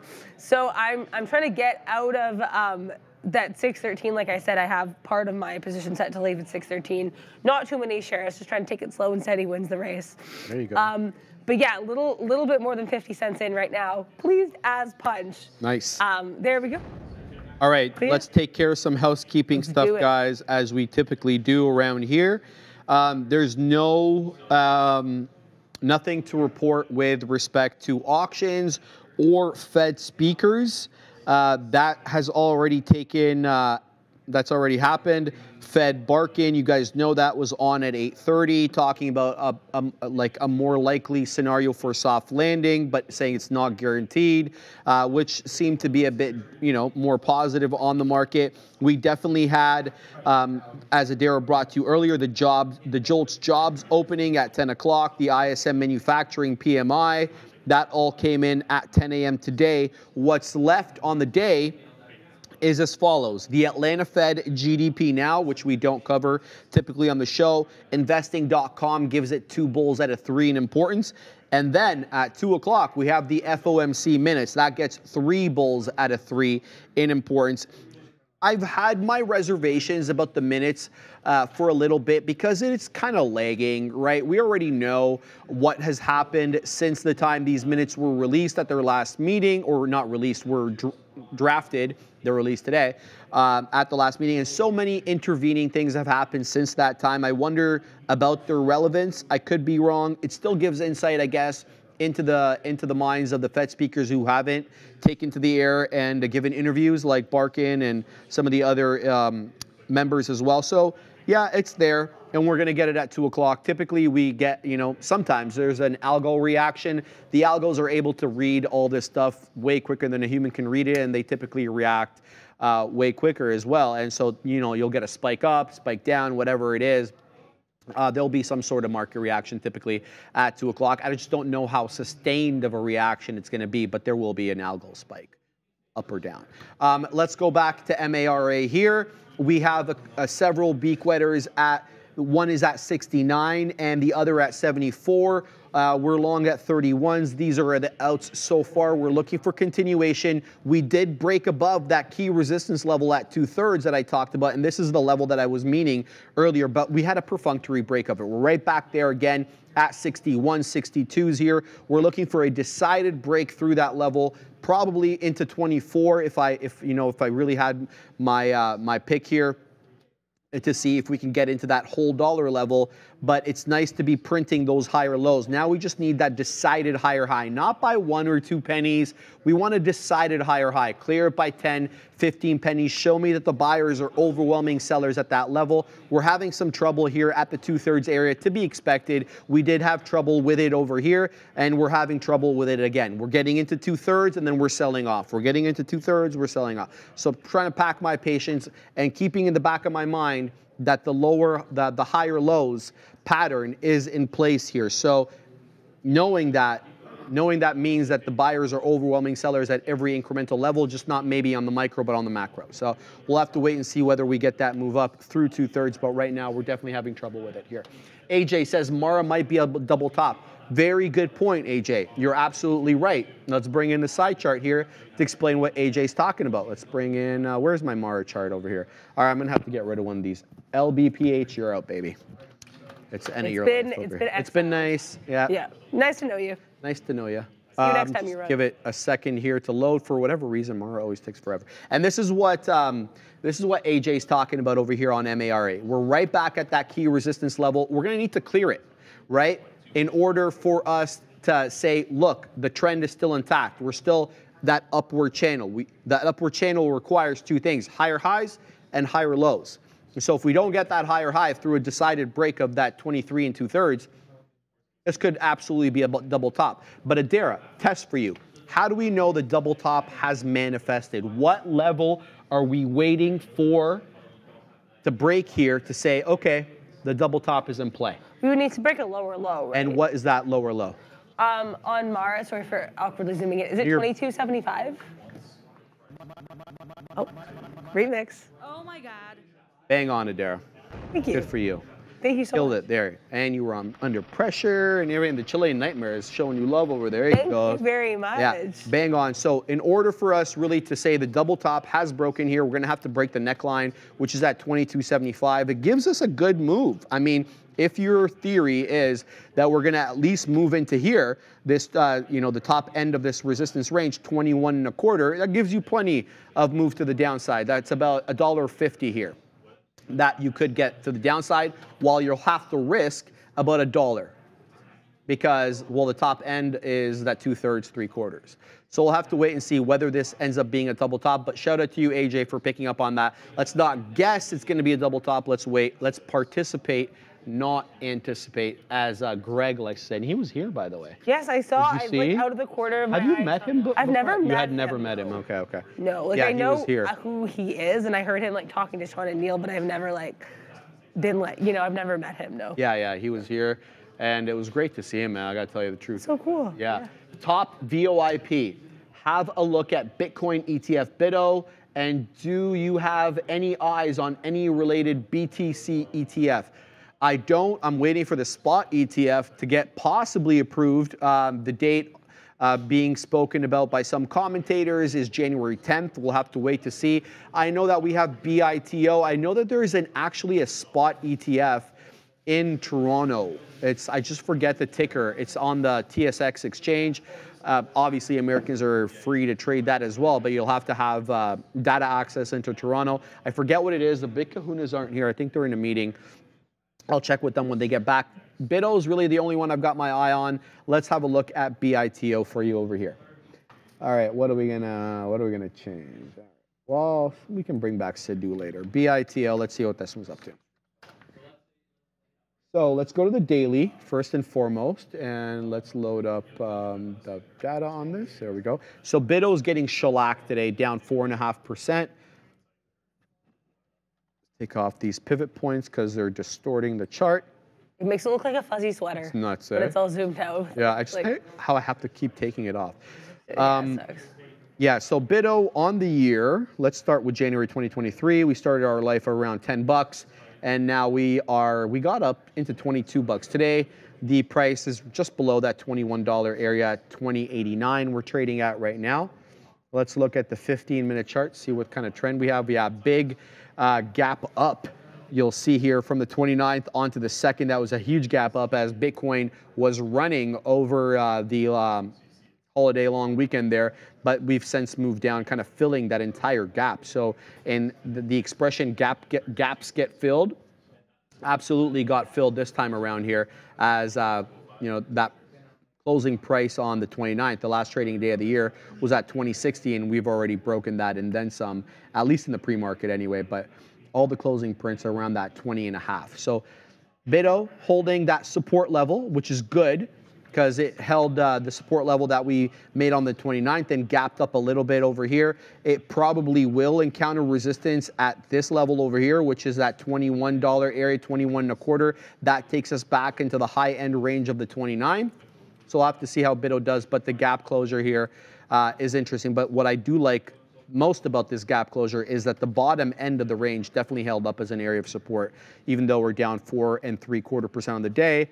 Uh, overall, it is still a bullish look on BITO. Maybe just not on the day. All right, Mara's coming down here, and uh, we're we're yeah we're still you know well in the money, Yeah. but it is coming down. So we're gonna have to we have to get this one out as it breaks down through my level over here, uh, through that 23 and a third. We'll look to possibly let's zoom out a little bit here and see where an interesting area would be. Let's see what does at that $23 area. If it comes back into 23 and holds above that 23, that would be a higher low, and that would give me a better cost basis for this bad boy. But for the moment, the we didn't get that higher high. So that double top that AJ was talking about, a distinct possibility here. Let's not guess. Let's let's participate, not anticipate. Mara, I'm out, but it's a profitable trade. Yeah, um, no, I think congratulations on that trade. Yeah, that's a good. I like all the you. little beak wetters there on the way to the upside. Yes, ma'am. Um, and uh, but for now, I would like to, um, you know, shout out Benzinga Pro, which we are brought to you by. Um, if you sign up today for 50% off their premier news and research platform for retail traders, you can do so with um, the code TTV, capital letters. That is TTV, capital letters. I feel like an infomercial lady from the early 2000s. Um, but yeah, just use the link in the description to go to checkout. oh, Yeah. messaging me from her account? Yeah, I was like, bro, why are you watching this show? The Chilean Nightmare was messaging me from Ram Ram's account. So I thought Ram Ram was off and watching the show. I'm like, what is she doing? She wants to know the stock tip. Yeah, no, the, the Chilean Nightmare was mes- messaging me the BTC BTCC.U. Possibly is that Bitcoin ETF I was talking about on the uh, Toronto Stock Exchange. Thank you, Fabian, for that. Appreciate it. Yeah, thank you very much. And thank you always to Benzinga. look, you can look at all the different stocks, see what's moving. Tesla. Tesla Model Y dominates in Norway, apparently. The country hits 82% electric vehicle market share, which is interesting because they actually have all the, the beef going on with um, the uh, Scandinavian unions right now as well, with um, some of the labor related uh, issues. Apparently, yeah, so I think it's kind of interesting. I think I read about this earlier yesterday as well, but I guess this is a more detailed look at that. I know Tesla did quite well in Norway for 2023, so kind of an interesting one there. But thank you very much to Benzinga for giving us all of that interesting info. Uh, really use it a lot when I form the watch list, which is also, I think, kind of apropos because we've been talking about watch lists all week. Also, in terms of just things I'm, I'm just keeping an eye on, I have Meta up here now, and I've, I've actually already marked out why I'm interested in Meta. This looks to me like it could be a flat bottom break. We're down in the day. We have a very clear flat bottom of 344. And I mean, look at this. Like higher, we have this high of 347 and some change. Then we get to 346.50. Then we get to 345. Lower highs and then a very flat bottom. Um, I think this is not a bad look. I don't want to get involved until I see more movement to the downside because right now this this candle's making me a little bit nervous. But yeah, I mean, I think it's an interesting look. I'm going to keep my eye on Meta. I just saw that in my side chart and was like, hmm. Also, got out Eli Lilly. Pleased as punch about how this turned out. Um, I want to talk through it. So basically, I started to zoom in because of the dark pool wicks here. But so I got out where I did. I initially said I was gonna, you know, get out 613 most of it, save a piece for the dream. But then I was watching. This is why I like, you know, I, I jokingly call it scalpulating, but whatever you call it, I just have to keep. I like keeping an eye on the tape, especially for something that moves like Eli Lilly, because it can give you really a sense of how the stock is moving and what areas it's clinging to like glue. Opie and I were talking about this last week when when he and I were on, and it was like you know we're talking about how different stocks tapes move differently, right? And um, I think with, with Eli Lilly, I find the tape will move very quickly and then all at once. But if you see an area that's really holding that, that's kind of of interest to me, an area it keeps going to. Uh, Eli Lilly had a really hard time getting above 612.50, so that's why I got part of my position out at 612.50 and then the rest out at 613. We had a nice pop to the upside. Happy I got out where I did because I mean I could have gotten a little bit more there, but I think we're, we're kind of tapering off a little bit here for Eli Lilly. If we make a lower high, I'm not going to get back in on this name. But I think I just needed, you know, I was feeling a little bit down after some of those earlier um, Eli Lilly trades. So I'm happy I just had one that was well planned out, that executed well, and that I did in, in the style that I like doing. So I think sometimes, like, if you're not, things aren't going well, just like reset your focus, you know, re- you make sure your head's screwed on right and just try to get back to, to trading. There we go. Dua Lipa or Taylor Swift? Why is this a question? I think my answer is known. I You have to choose one or the other. okay. You're forced to choose. Is there a context Gun or a to your reason? head. Okay. Well, whatever. Du- Dua Lipa. I like the cover she did of that Arctic Monkey song, Do I Want to Know, for some. British um, radio. I like that. Thank you, Fabian. Yeah, I, I like her style. Um, she I was. I, I liked gotta her as a mermaid in the Barbie movie Yeah. with John Cena. That was kind of weird and funny, um, and not a spoiler. but yeah, so I, um, I, yeah, I mean, I, I like Dua Lipa. What about you? I'm gonna have to say the exact same thing. Um, and I, like, look at this: Dua Lipa over Taylor Swift says Ice Sniper, and then Rushabah Shah. He's like, "Don't be dumb." Taylor Swift, not even a question, according to Rubisha. Um, all right, Pitchbolt Dua Kipa. okay, bro. reminds I remember um, Dula, Dula Peep. I forget who said Dula Peep, but I think somebody at one point announced her as Dula Peep or something. Yeah, and- well, Dua Lipa's not like a lightweight either. She also has almost 100 million Instagram followers. know yeah, that. so she's pretty. I knew she was now. like big. I mean, she does like her songs are catchy and fun. I have no complaints about Dua Lipa. I like Dua the Peep. Chilean Nightmares weighed in where Dua stands here, boy. Yes, okay, honest Abe 90 Dua Lipa. I have to agree. I yep. Also, Bears versus Bulls going off. I love it. No I- opinion on Swift, or are you just being kind? yeah, Don't exactly. bait me. We, I mean, thank you, Bears versus Bulls, but I'm not going to take the bait because I'm trying to. We're, we're, we're a trading show here, um, but we've heard me talk about Taylor Swift before. I am not a huge fan. I know, I know how you feel. Adil saying a billion in tour sales, full stop. That's all he's gonna say about that. I, mean, you know, we can't really argue with that. The Yeah. where is the money at, right? So uh, no question about it, guys. NEXI just woke up again. Uh, be careful with this one. Small cap gapper du jour, 250%, coming back above eight bucks, knocking on the door of that 850 again. It's had trouble with 850 before. Sure, it got up into that eight and three quarters, but look where all the closing prints are. They're just a smidge above 850. At that 853 is the highest closing print here on the one minute look. It's incrementally making its way up though. So if we were to zoom out on NXPI, sorry, and EXI, excuse me, we have that higher low um, trend intact. It's just the higher high is uh, the kind of the question uh, that's outstanding at the moment because we couldn't break through that initial higher high here. We got into that nine bucks area. Um, sorry, yeah, we got into that nine bucks area, got into nine and a third, but on this ascent, we couldn't break through that 850. Now we are knocking on the door of 850 again, and here we go. It's squeezing, and there it goes. Oh my goodness. Look at this insane stock. It's going to likely halt at 10 bucks. Uh, yeah, this one really rocketing up. 310%, $10 a level on this. Big size at 10. Can it break through 10? I thought this was going to halt, but uh, there, it, it didn't. But we clearly have a big seller at 10 Adara showing size here on the book. Can we get through 10? Nine, uh, 9.99, just like a matter of time now. Here, there goes, there goes Max in the Lambo, and there goes 10 right up into that 1050 area. God. Goodness gracious, NEXI is on when it's flying. This is so entertaining. Like, I mean, I love the market. I have to say, That you know, I'm so happy I have. Um, oh, hello. the, the big kahunas aren't there. I, Yeah, yeah, yeah, also, the Bears look so sad. The Bears have like fallen over Well, over the there. The bears are pretty apropos. Yeah. Yeah. Cat in the Hat Bears. is there. Oh hi. Cat in the Hat's having her lunch. How are you, Cat? How you feeling? She's tired. All right. We We'll, love feel, Cat. we'll feel in the Hat. that. Yeah. All right. Um, But you yeah. want to do Benzinga? Uh, I did. Oh, you did it? Yeah. Awesome. Cool. I yeah. didn't know that you did I think Uh, I, I think I might. I don't. I did do. Yeah. Yeah, yeah, I did it. American. Also, yeah, Eddie R asking kind of an interesting question. This is a little bit while earlier, Go but I just it. saw the tag here. As a person from a later generation, what is your view on what Bitcoin is? I don't. I love this the question. question. Yeah. I, I don't. I wish I had a better answer for you. I think honestly, I've learned a lot more about Bitcoin and how it functions since starting here. You know what I mean? So over the last, like, I can't believe it's been like four months. I feel like I've learned, you know, a little bit more about kind of how Bitcoin functions. I would say my view on it is I think I, I do get why you brought up the age thing because I think part of the way Bitcoin is, is I think a lot of older generation. I mean, even James Gorman of um, my, uh, I almost said Microsoft MS, Morgan Stanley, um, getting the tags confused with the business here or the the ticker, sorry.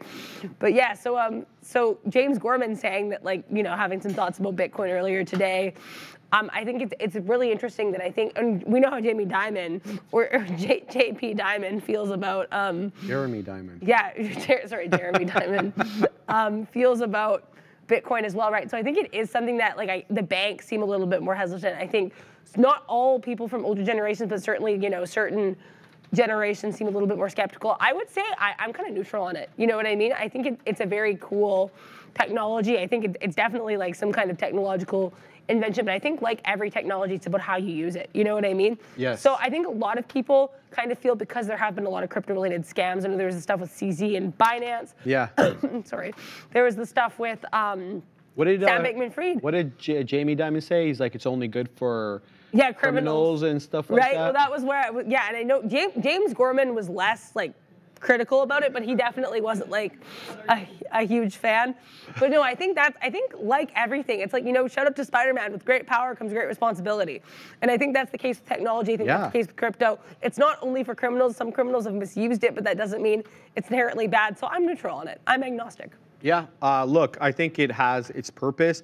I think uh, number one, um, the fact that there's a finite amount of them is very important because what we've seen central banks do is print, print, print.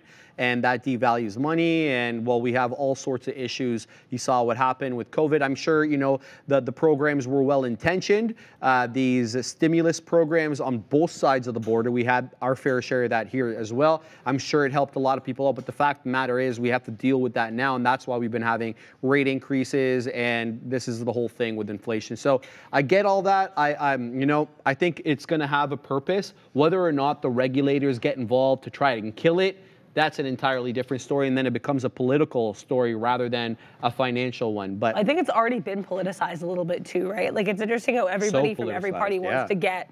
yes. We're like scrapping over here. I don't know what my hands are doing. But like uh, Fabian and I were talking, like I, I think a, like a month ago or something like that, and I was telling him how I liked the fact that Ethereum had those smart contracts. So so say something. So say for example, I want to sell you a house, right?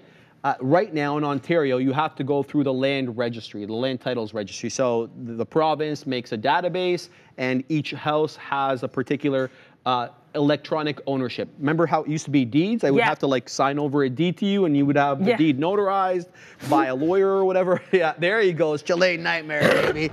Um, basically, with smart contracts, there can be a decentralized system where ownership is always known. And so I can sell you the house, and it could be in one second, I can send you the transfer, and there could be this. Uh, program where the money is only released when the deed is transferred to you and we're both hands off so that the the contract between you and I no longer requires an intermediary. In the states, they use an escrow service where the money is deposited, and then once the uh, the land title is moved over, the money is given to you. Okay. In Ontario, we use lawyers for that. You leave the money with the lawyer in their trust account, and then they release the money over to you once the the deed has been.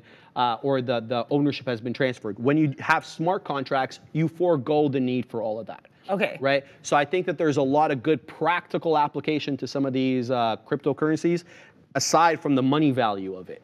Um, I think they're fantastic, but you It know, is really cool. Yeah, it, it is Yeah. pretty cool.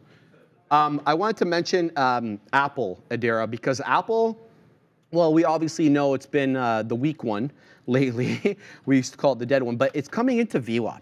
And so this is interesting me here. Last time around, when we got into VWAP, it was an interesting rejection where we got a big move down off that 184, let's say in a third. We got back down to 183 let's say in a half. So it was a nice, uh, nice move down there. Now we're right back at that critical resistance level again. 184 and a third is where VWAP is on my chart, and we're having trouble again. So I'm starting to think that this might be an interesting short. But like as my friend Neil would like to, likes to say, get it on the back end.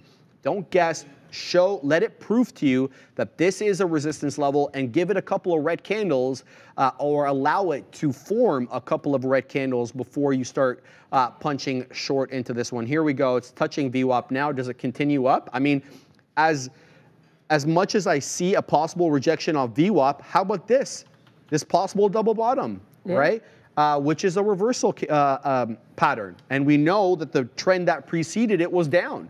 So it wouldn't be on wouldn't be beyond the realm of possibility for us to have a double bottom here at this 183 and a half and to maybe trend back up for a little bit. So I have no idea. I'm going to wait for it to develop, but I'm really liking a possible short on Apple at VWAP. Yeah, no, I think that because I, I, was I was considering, like I said, shorting Apple, what I thought was going to be flat bottom break, and that's why you know um, what like what Greg you were saying earlier, anticipate, uh, participate, don't anticipate. Yep. That's why you can't just assume because like I thought that Apple was going to be flat bottom break there, and then we you know swoop back to the upside. So very interesting time. Um, I think that's an interesting look. Also, Meta, I still have my eye on. Not quite a flat bottom because we ended up slightly higher here, but if we continue to make lower lows, could be interested in a short. If we make a higher high here, it could be a reversal play. But I, mm. if it's a reversal, I don't really want to get involved because right. volume is kind of, meh. It's meta. It's meh. yeah. um, so, yeah, the volume's not doing enough for me to be kind of um, super um, enticed by this one. Uh, at this point, in terms of like if it if it does reverse to the upside, right. But if we keep having lower lows and a flat bottom, um, I would do a short and I would take it to Dua Lipa. This uh, I would do a leap. No, I'm joking. But I would um, take it to the 342, and I say that because that was where we had some support earlier. So like you know, using previous levels to find areas of exit, and I think that's too. Um, this kind of reminds me. This is a conversation we had like a little bit a uh, while ago as well, like different times of day trading. I know different people are kind of midday, you know, like traders. And why I think I like trading in the midday mm. um, is because I like ha- kind of having levels to fall back on yes. from the intraday. And it's a little you slower. I don't yeah. feel like as uh, ang- like, as much anxiety yeah. in the opening. Like Sean is fantastic right. at Sean trading like, these opening range nutty moves. He's got levels. He holds his temper right? Like a, a, shout out to him, man. But it's just not my cup of tea. I need more, you know, stability. So I definitely agree with you on that. Yeah, no, I think, and so that's what I'm trying to say. Like, I think with Meta, too, like the fact that we're able to kind of look at where we popped off of open and this 342 and be like, hey, this could be a level, not something you'd be able to do if you traded from open, right? So like, I think yeah, like Sean and Neil, like I, I do not know how they manage to manage like so many positions and get in and out like oh, open. Yeah. Like that's super impressive to me. Everyone has their own style of trading, I think, right? Straight it's up. kind of the a thing that I want to um, yeah, James Dell saying pros. Yeah, there you go, right? Yeah, you, you summed exactly it up. Exactly what it is. Got yeah. it in one fell swoop. Four letters. There you go, right? But I think I think too like different different traders have different styles, and I think especially too with, with the small caps, a lot of the small caps you like trading will make these moves in the midday, right? And so, the pre-market. And like, the pre-market remember how too. often I come in? Adara is like typically the first one in, right? Neil and so Neil, yeah. yeah. sorry, Neil is the first one in, and then uh, I don't know if like you're like a few minutes later or whatever. Um, and then I'm third. I'm always typically third. Brendo sometimes was third, but I've been beating beating Brendo lately. And the first thing I say, Adara, look how many small caps there are. Yeah. And they're always moving in the pre-market, and then there's no vol- volatility halt parameters. So they go the way they want to go. They go like crazy. Yeah. Uh, here we go on AAPL. It, okay, so guys, the market's moving up here. All right, we just broke through 16.6 on the NQ. Uh, which also happened to be VWAP. Google's pumping, Microsoft is pumping, and uh, every essentially everything except Nvidia here is uh, curling to the high side. Nvidia is already, you know, had a bit of a move up. But here's what I'm talking about on the future. So let's not get too excited that we're we're going to start trending up here. The big move up off that 16550, we come into 166 1660, excuse me, and there is a bit of a topping tail candle into 16620. It's a smidge above uh, that 100 point level now, which also happens to be VWAP. VWAP on my chart is at 16606, so about six points higher than the 100 point level. We did actually make a higher high above this little wick over here, that takes us into 16, what, what was this? 16618. This one went all the way to 16619, so nothing. Essentially uh, the same level. We're gonna need a closing print above this level, not just a quick wick. So let's see what we do here on the future, but you know, if I had to guess, I think this is probably just a dead cat bounce, but who knows? I could be wrong. I I personally want it to trend up just for the personal account, but my inclination is telling me that we're probably just going to reverse off this level. We'll have to wait and see. Yeah, look at this already, right back down to 16.6. Does it hold here though? I mean, you know, we talk about the wicking dance. Are, are we going to hold above this level? It looks awfully ugly. That's a topping tail candle if I've ever seen one. Let's see what we get. But nice move up on the future. Let's see if it's able to sustain itself. If it doesn't, then the short on Apple will be very interesting uh, with a possible move down into that 183 and a half, where we know we have support because there's been a double bottom at that level. But I don't want to jump into this one too quickly. Let's see what we get. But yeah, important levels here on the future and um, on Apple, seeing as Apple is at VWAP. Let's see what the chat's up to. Um, so, broadest wolf, I, I responded uh, to your um, to your question about what do I think about uh, S triple Q calls. I asked you, are you holding them intraday or are you holding it for uh, a swing trade? Because obviously, uh, you know, the S triple Qs have been printing over the last two days because we've been selling off aggressively on the future. So just um, tag me there in the chat. Let me know if you're looking at a swing or what your uh, what your idea there is. Big Eddie R. How many cats do we need? to- do we need to end up bouncing each day? I don't know, brother. Uh, I don't. I don't choose how many there are. It's just Eh, we had such a big down move on the future these past couple of days. You'll have to forgive me for thinking that everything is a dead cat bounce, but I could be wrong. We could start trending to the high side here. Um, Chef Joe, Sharif, was that the five minute chart? Yes, sir. So anytime I bring in the black charts, like these ones over here, they're always on the five minute time frame. Okay, I'm always charting on the top, on the five or the 15. Anytime you see the white charts, 99.9% of the time it's going to be the one or the three. Okay. Um, Diamond Realty of Miami, Nexi, nice flush. Let's have a look at what NEXI did. Oh, geez, Louise. Yeah, this is why we talk about these stocks and the danger of trading these stocks. And, you know, I got to tell you, I'm not going to shout out anybody by name, but there are small cap traders out there that are very good. They do it every day and they do it proficiently and they do it effectively. And those guys, they don't typically hold this for that long. They're in there with several thousand shares uh, for maybe a minute, a few minutes, a few seconds, whatever it is, and they're constantly getting in and getting out, taking profit, adding back when it moves, taking profit. So, what the whole point of why I'm telling you this is this might not be the type of stock, the small cap gapper category that you want to hold on to for that long. It's mostly like you, you get in your profits, you get out, especially when it gets crazy volatile like this and flies through that flat top here that at eight and a half on NEXI and touches. Did it actually get up into that 11 area or is that like a dark wick? No, it did. It got into 1097. That's a legitimate wick. So it flew up from 8 bucks to 11 bucks in a matter of minutes and well, you see what it's doing now, right back into $8 again. So um, shout out to you guys. Oh, we're getting big Kyle Burdett's in the chat, baby. Uh, what a happy new year. Olay Santa finally got the red chimney. Shout out to you, Kyle. I know uh, you're a bear, so you've been printing a lot lately. Uh, shout out to you, my man. Hope you continue to print. Eddie R, it's a cat massacre lately. Oh my goodness. Majid, uh, Muzaffari Majd. Uh, Sharif, can you please check SoFi? Yes, I will check SoFi. Got downgraded today. Not a good look for them.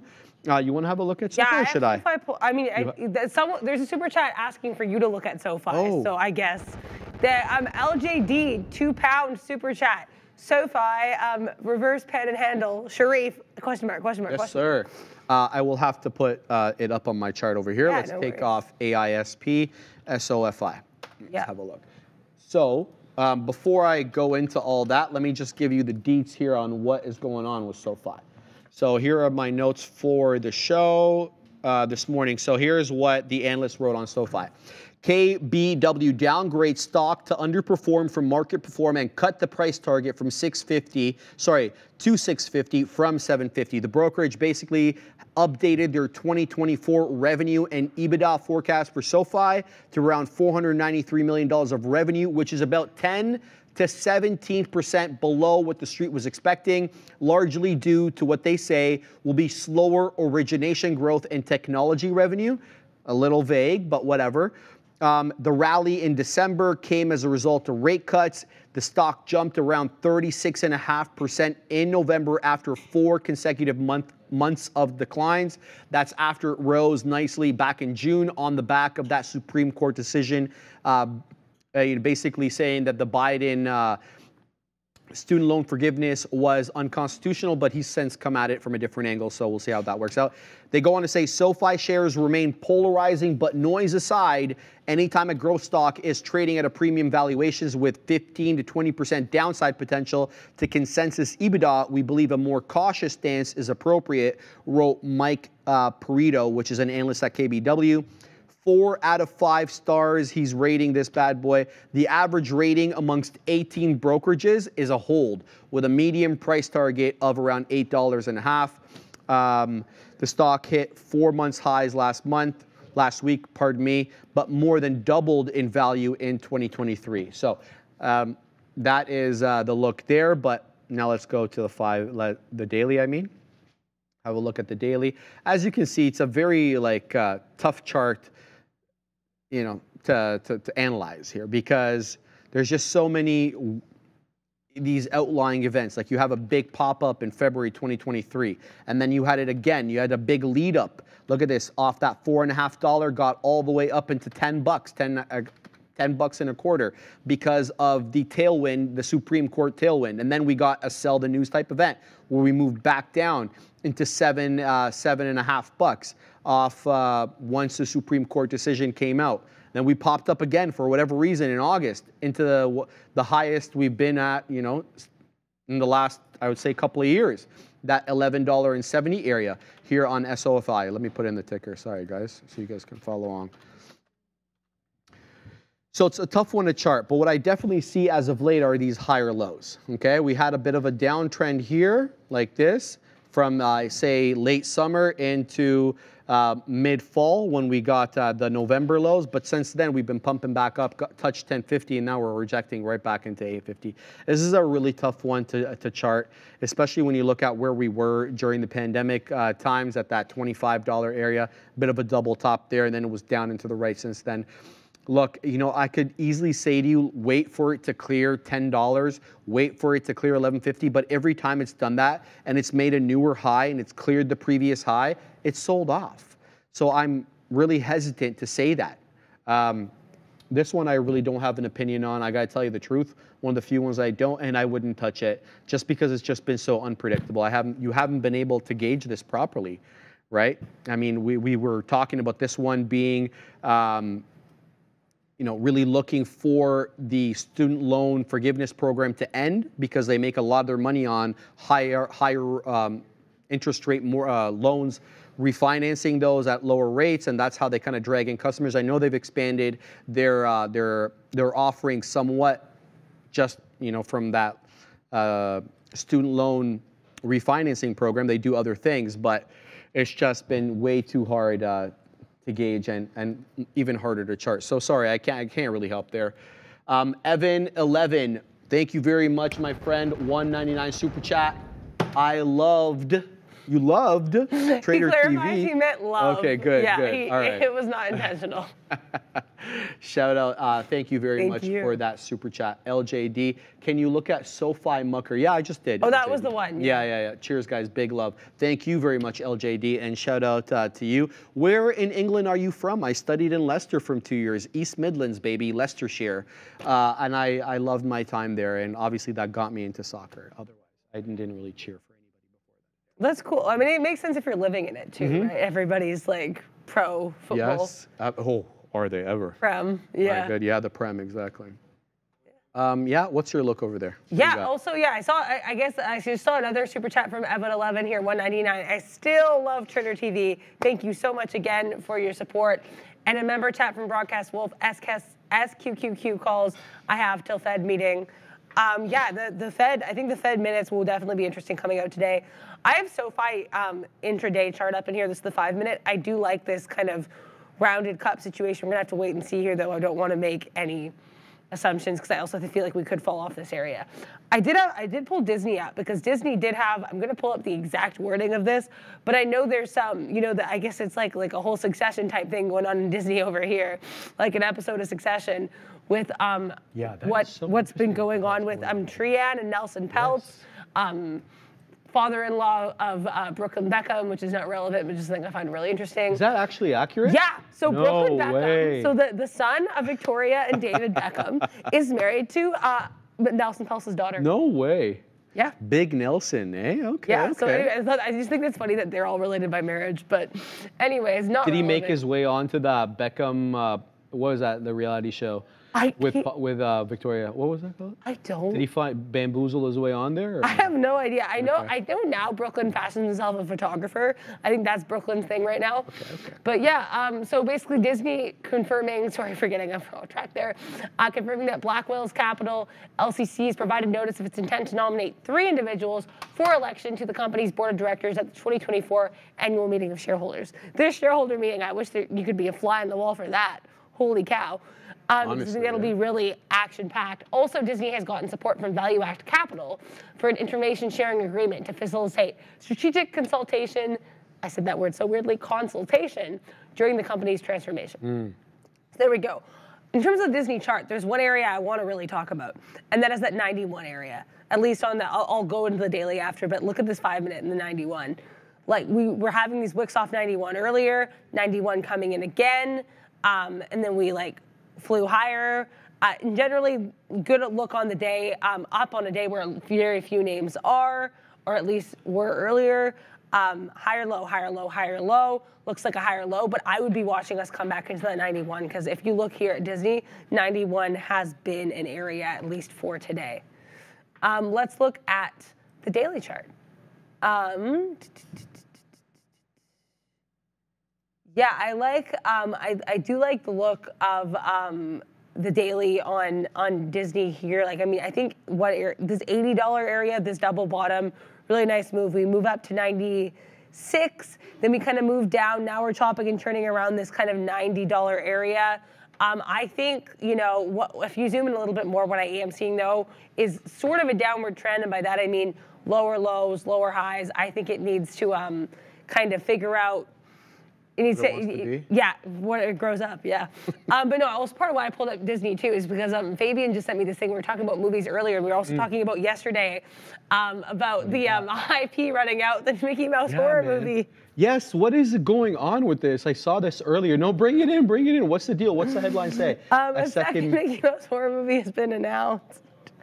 What is going on there? So hold on, I'm kind of confused. So the fact that they lost the IP, That so anyone, Anyone can use okay, the so characters. so Oh, yeah. naturally. They, Here. they had to go to a horror movie. Like, is that? I don't get it. That's hilarious. Is that what Disney Disney banned any horror movies Well, of Mickey Mouse? I guess it's just like not really how you expect the character. Never mind. So my favorite character as a child was Hmm. Winnie the Pooh. I love Winnie the Pooh, and they made that movie Blood and Honey, which is a Winnie the Pooh horror movie that I will never be watching. Like my friend heard about this, and she's like, "Adara, we need to protect you from that movie," because yeah, no, I was like, that was my favorite character as a child. But the point I'm trying to make is, yeah, I Yeah. think this is going to be an interesting time. Not related to what Disney's moving today, but I just thought that was kind of what reminded me of it. So thank you, Fabian, for, for sending me that. Um, I always found Steamboat Willie kind of creepy anyway with his little song, so we'll have to see how it works as a horror movie. But yeah, I think um, I, I think Disney in 91 today, very interesting. Oh no. oh wow, is that real, Fabian? That is the real poster. That's the real one. Okay. That is it, year, eh? yeah. That's so hilarious. Um, okay, guys, quick headline here. Um, this is, I don't think it's breaking or anything, but one that I didn't really realize until now. Intel to spin out AI software firm that's coming in today. Here's a headline Intel on Wednesday said it was forming a new independent company around its artificial intelligence software efforts with backing from digital focused asset manager DigitalBridge Group and other investors. Intel executives would not comment on the value of the deal or whether it would retain a majority stake in the new venture, other than to say that the firm would have an independent board of directors and the chip maker would remain a shareholder. The new entity, which will not be publicly traded, but will be called Articulate, Articu, and then 8, and then AI, pronounced Articulate AI, is an outgrowth of work on corporate AI technology that Intel initially carried out with Boston Consulting Group, now to be carried out with this other DigitalBridge Group. So we'll have to see how that all pans out. Here's a chart on Intel, not doing much today, down 1.4%, as semis have been hit hard this year. SOXS, the semi triple uh, triple levered bear ETF yesterday, did the second amount of volume second highest amount of volume after the S triple Qs. So it hasn't been a good 2024 yet for the, the semis and the microchips, but we'll have to wait and see whether Intel is able to get a nice tailwind off this particular headline. I'm just noticing it now. I didn't see it earlier. All right, uh, let's go back into the big caps here because I was talking about possibly wanting to short Apple at this uh, VWAP level, but look what it's done here. It's printed higher highs, and now it's holding VWAP from the top side. So it's at that 184 and a half level. It really hasn't rocketed up or anything. So possible still that we could get a short on on Apple at this level. But the other thing that I'm keeping my eye on is the future we're at exactly at that uh, 100 point level. We're really straddling 16.6 here and not from the top side or the downside. I don't know what to make of this. So I'm not going to try to guess. I'm going to let the, the price action develop and then we'll take a trade on whatever happens. But uh, I was kind of looking for this to either break up or break down and then for Apple to follow on the future. So 16.6 right now at the future, just below VWAP at the moment as well. Haven't been able to make that higher high on a closing basis. A perfunctory break doesn't count. I'm talking about this crest over here and uh, comparing it to this one. Uh, basically, it's the same level. And so keeping an eye on that. But Apple sta- stair stepping up It's that 184 and a half. The Katina man has arrived. You guys were in a meeting for a minute, eh? Don't worry about our meeting. Tuna. What do you got there? Finally, tuna. This looks Didn't we so get that good. I yesterday? threw some rice. Yes, we did, my friend. That rice looks good. But it's Thank it's you. good food Got nonetheless, some Katina man. cabbage on there. All some right, all Kiro. I'm gonna take some rice. You got after. some Mm. rice. Is that basmati? Yes. Yes, it's very nice, I have Katina no man. Because there was chicken and rice, I think, for the main. The main show. yeah, I saw the big quarter chickens there. They look good. Ooh, quarter fantastic. chicken. Not Okay. gonna lie. Good Yeah, to both know. of you guys are fired. My bad. Aw, I guess we're fired. Let's go, Adara. take the mic. We're having a good time, baby. Shout out to the Katina man, he's back there. So uh, Yeah. we'll be updating you about the Katina man's positions once he starts bringing them in here. Uh, Palantir and Mara short right now with the Katina man. Uh, Neil, did you see Intel had a headline, eh? Um, spinning off a new AI company with, uh, it's an AI software company. I just want to point that out to you because I know that uh, you follow Intel closely. So I don't know exactly when that headline came out, but I just saw it now. All right, D-Loaf, don't worry about his meeting. Uh, yeah, I know, bro. I just have to. The Katina man, you know, we're just gonna have to. Uh, yeah, Darwin, Nasdaq. NYSE to meet with the SEC today to discuss spot Bitcoin ETF. Says source. Interesting. Okay. Thank you for that, Darwin. OG in the chat. Why Brothers United? Apple short making Katina Man to sing. Well, we're, we're not jumping in that short quite yet on AAPL because despite the fact that the future has rejected now 16.6 to the downside, Apple really isn't, you know, tanking here. Um, so I'm going to be patient uh, about this Apple short uh, at VWAP. But yeah, I was definitely looking for the future to, to reject 16.6, but Apple is not re- responding in the way that I thought it would. Anyway, it's coming down off that 184 and a half into the 184.40, but not with the same vigor that I anticipated. We'll keep an eye here on the future, but it looks like we are rejecting 16,600 and we are coming right back down here after dancing with it for about 5, 10, 15, 20, 20, 25 minutes worth of dancing. So it's quite a long dance, Adara.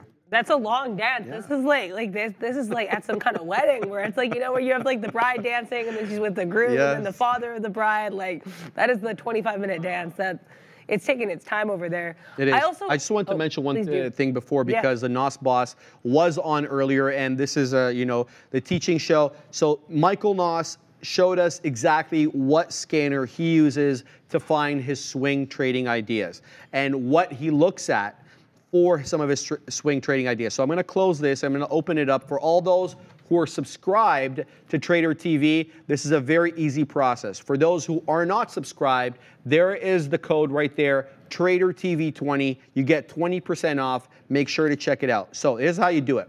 You go into new and you go to um, doc doc channel bar. Was it doc channel bar? Yeah, it was. Yeah, doc there it channel is. bar. You kick, click Doc channel bar, you get this window. And then on the left over here, you get a bunch of different options, right? My portfolio, explosive winners, uh, S&P 500 stock racing. We're gonna click this one, swing picks. You click that bad boy, and it's already made up for you. It would load a chart here, but I have too many charts loaded up, so it prevents me from loading up anymore. But typically, there would be a chart right here, guys. And then you would see all your list of TI strength. Recall what he meant by TI strength. TI strength is kind of on the balance of the evidence. He uses MACD, RSI, all the different indicators that he factors in, and these put together um, a list of possible trade ideas, which are on the bottom right hand corner of the screen. And you can keep your eye on that. So, anybody who wants to learn how to uh, swing trade and wants a source for some ideas, make sure to check out Trade Ideas and the swing trading portion of it, Adair. Yeah, and I mean, I think too trade ideas, like back to kind of what we're talking about this week, which is stock picking and Yeah. scanning and watch list. I think trade ideas is one of the biggest things I use. Like, if I see a story, it helps me confirm is this thing moving? It doesn't have volume. Or sometimes I'll just like, if I'm like, you know, not finding any stories, like a day like today, there's not much moving. This is how I first noticed SoFi was down, as I saw SoFi like on the the biggest, like you know, the I guess the gappers to the downside. I saw that and I was like, oh, why SoFi down seven and a half percent or whatever it was at that time? Now it's obviously down a lot more. Yes, ma'am. But so I looked into it, and so I feel like it, it's really good example of just even looking. We were talking about yesterday, Mm-hmm. seeing movement before you see the chart. Sometimes just seeing like purely on a numbers basis. What is the stock doing? Why, you know, why is it doing this thing? Like, what Right. can we kind of look for? You know what I mean? So I think that's kind of, um, I think a really useful thing for that, and I think a big part of what helps me form the watch list that we all get here at Trader TV live. Um, so yeah, really fun time. I do find it extremely helpful, and I really appreciate Michael Noss chatting with everybody here about Yeah, the um, Noss yeah, the watch list, the Noss boss indeed. Um, also, I pulled up Palantir. I forget who in the chat was asking for Palantir, but to whoever you are, um, I have pulled up Palantir. Um, Palantir on, I know Sean is in this short. Um, oh yeah, my dad's account. That's what it's called. The, the, I love that username. Um, I have pulled out uh, Palantir here Sick, for man. my dad's account. This is an interesting one because we have lower high, slightly um, higher lows, but also lower highs. I don't really want to say compression because it generally looks like down in the day, and a lot of these higher lows are from pre-market. From where we opened though, it's it, I feel like this whole um, 16, 16, um, where is this? 1608 area is kind of interesting as a bit of a bottom here for Palantir. Could it be a flat bottom break? I think we could do that just from where we opened. Like it's lower high, lower high, lower high. Or sorry, not lower high. Uh, this was a high, and then we had lower highs. So I think it's kind of an interesting look on Palantir. I'm going to see if there's any more, um, if there's any catalyst on this guy. I haven't seen anything. Um, I'm seeing just an article about some uh, from Benzinga about, I guess, some worries about AI because a lot of these AI names have been a bit in flux after having wild years to the upside because it was a really strong AI move um, last year. But also um, another name kind of in that space, albeit more tangentially, is um, well, I guess still not tangentially. It's, it's AI related. It's Nvidia. Let's look at Nvidia, and this unfortunate trade I made earlier, which I'll talk about in a minute. But for now, I just want to look at the chart because Nvidia. I, I was saying earlier, I think Nvidia this um, could have been like a longer term flat bottom break at this 473. I got into this long because I liked. Um, I should have gotten out here, this like 479.50. I was trying to take it 478.50 to 479.50. We never quite got there. Um, and then we kind of flew to the downside, um, like literally fell from under me. Should have been a bit scalpier here. Alas, you know, I, I can reflect on the trade and recognize, like I said today, it's not my, my best trading day, but reflecting, hopefully learning. Um, and yeah, NVIDIA definitely um, that the long would have been way earlier here this at, at this initial bounce. Or sorry, not 473, 474 as the bottom here for Nvidia. But yeah, then we kind of chopped around VWAP for quite a bit. And as we were, as we've been saying, VWAP's not always going to be an area of interest for a stock, but if VWAP interacts with the stock in a certain way, something worth taking note of. I think this is a really interesting look. Like we had this bounce, lower high, and then we kind of came back to this 578, 478.50 area. NVIDIA is not at 578, so I almost said NVIDIA there, so oops. But then we fell here from about 478.50 to 476. Are we forming a bit more of a bottom at 476? Either way, what I can say is um, NVIDIA is just moving in really weird directions. It's not a stock I think I can get involved in right now. I need a bit clearer of a sense of direction, and right now, NVIDIA is unfortunately not providing me with that. But you know what it is?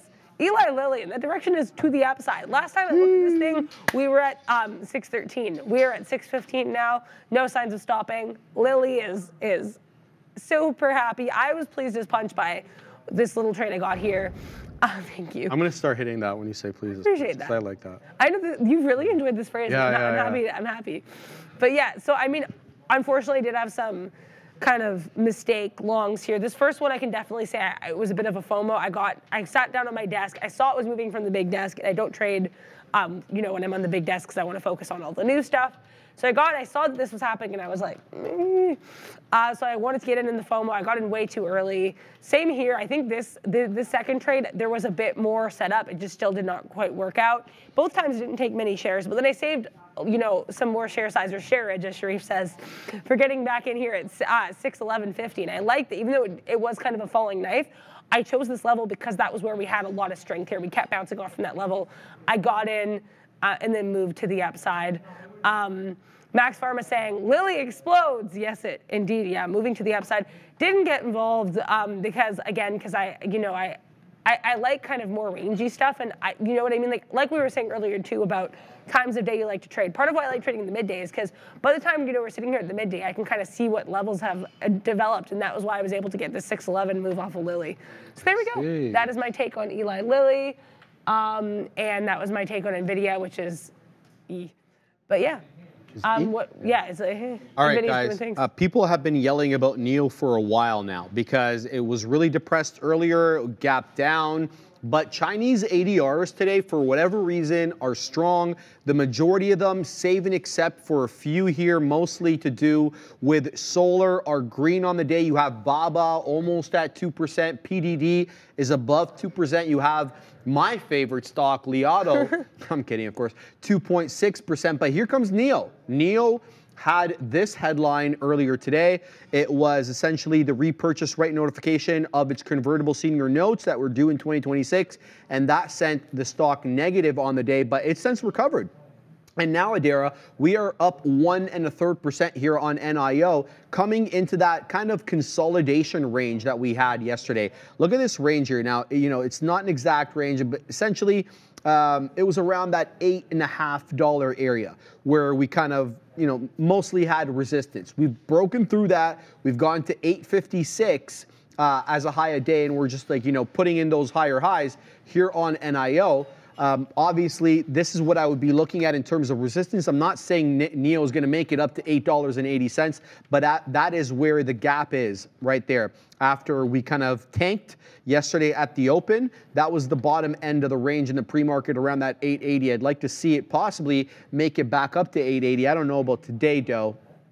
Uh, we'll see what we get on NIL, but just want to point that out there. 1.43% now in the green on NIL, making higher highs and higher lows, despite the fact that we got a you know a not so good uh, catalyst this morning um, on it. Now, uh, anything else I want to point out here? Yeah, the Mara trade still doing its thing here at 23 and a third. It really hasn't changed.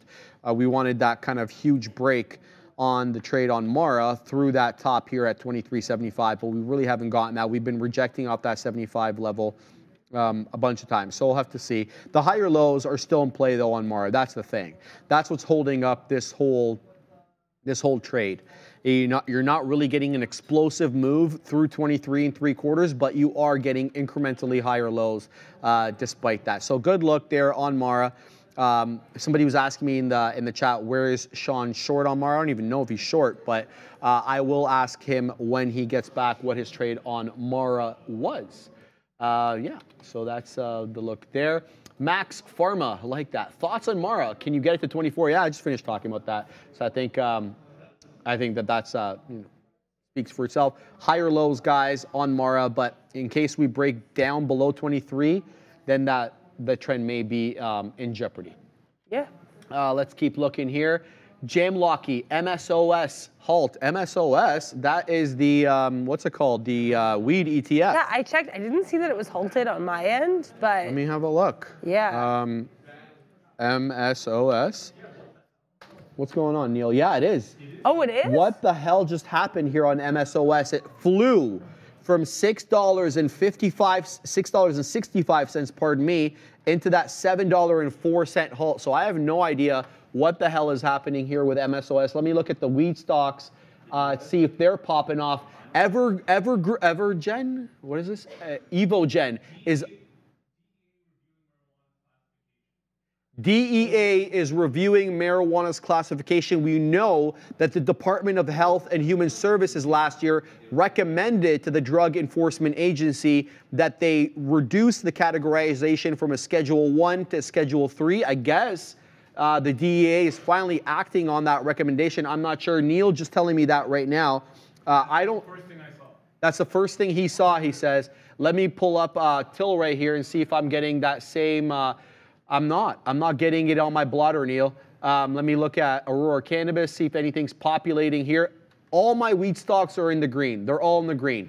Um, Tilray's up seven and two thirds. Cron is up three and a third. Tilray's above 8% now. So, guys, wheat stocks should be looked at right now. They're all headed to the high side on the back of this catalyst. Let's pull up Tilray on this chart over here. We already knew that. I know. I hear Brendo saying we already knew that, but the fact of the matter is, I mean, we're pumping here for whatever reason. Tilray got off the schneid there at 218. Now is knocking the door of 250. Just made a new high there at 243. Wa- watch out for this. So a lot of volatility coming in. The volume really flying in here on TLRY recently um, with this catalyst coming in. Uh, MSOS, Tilray, uh, ACB should also be on your um, your watch list there for weed. What else? G-R-W-G-C-R-O-N, all possible plays here, Adara, as we wait for some more information to come in. Yeah, I think this is a really interesting one. Um, yeah, I wasn't sure. I, I couldn't tell. The reason I couldn't tell the SOS was halted is because usually my halts don't look like this in PPro8, so I apologize. I was confused on that. Uh, yeah, up 12 and a bit percent, 12.43% for MSOS. Tilray also, yeah, like Sharif was saying, really strong. I would, I don't want to enter Tilray, but I like the idea of an entrance on Tilray because I like how this one looks here. Pumping. like, Yeah, so much news. Also, I appreciate all of the lovely puns here in the chat. Someone saying all in the green, and then I'm headed to the high side. Um, you know, I love a one. pun. Yeah, it's, and it's I like think all in the green. I love it. You Oh, guys are someone, the best. Someone saying weed stocks are high. Yeah, yeah. Yeah. So I, yeah, I enjoy that. I think definitely a, a strong move to the upside. A couple of people saying SNDL. So let's Sundial.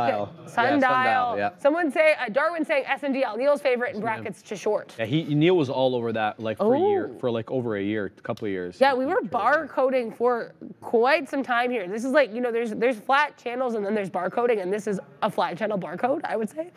We kind of moved to the upside. Um, not not this is this is a really barcodey one. The volume isn't even that bad either. We have volume over a mil. It's about 1.8 mil. Let's look at the um, the daily on Sundial. Oh God! I mean, the daily What? is, is it, it's so yeah, very much like we were kind of in a flat channel, kind of moved up, moved back down. Yeah, there's this is this is one really likes this. It's clinging to this one dollar four area for dear life. Um, I think this is a really Look at interesting what area. JV wrote. This come on, bro. I love this. Seems 420 hit early bro. today. Let's be blunt. Jay Lee, you win, bro.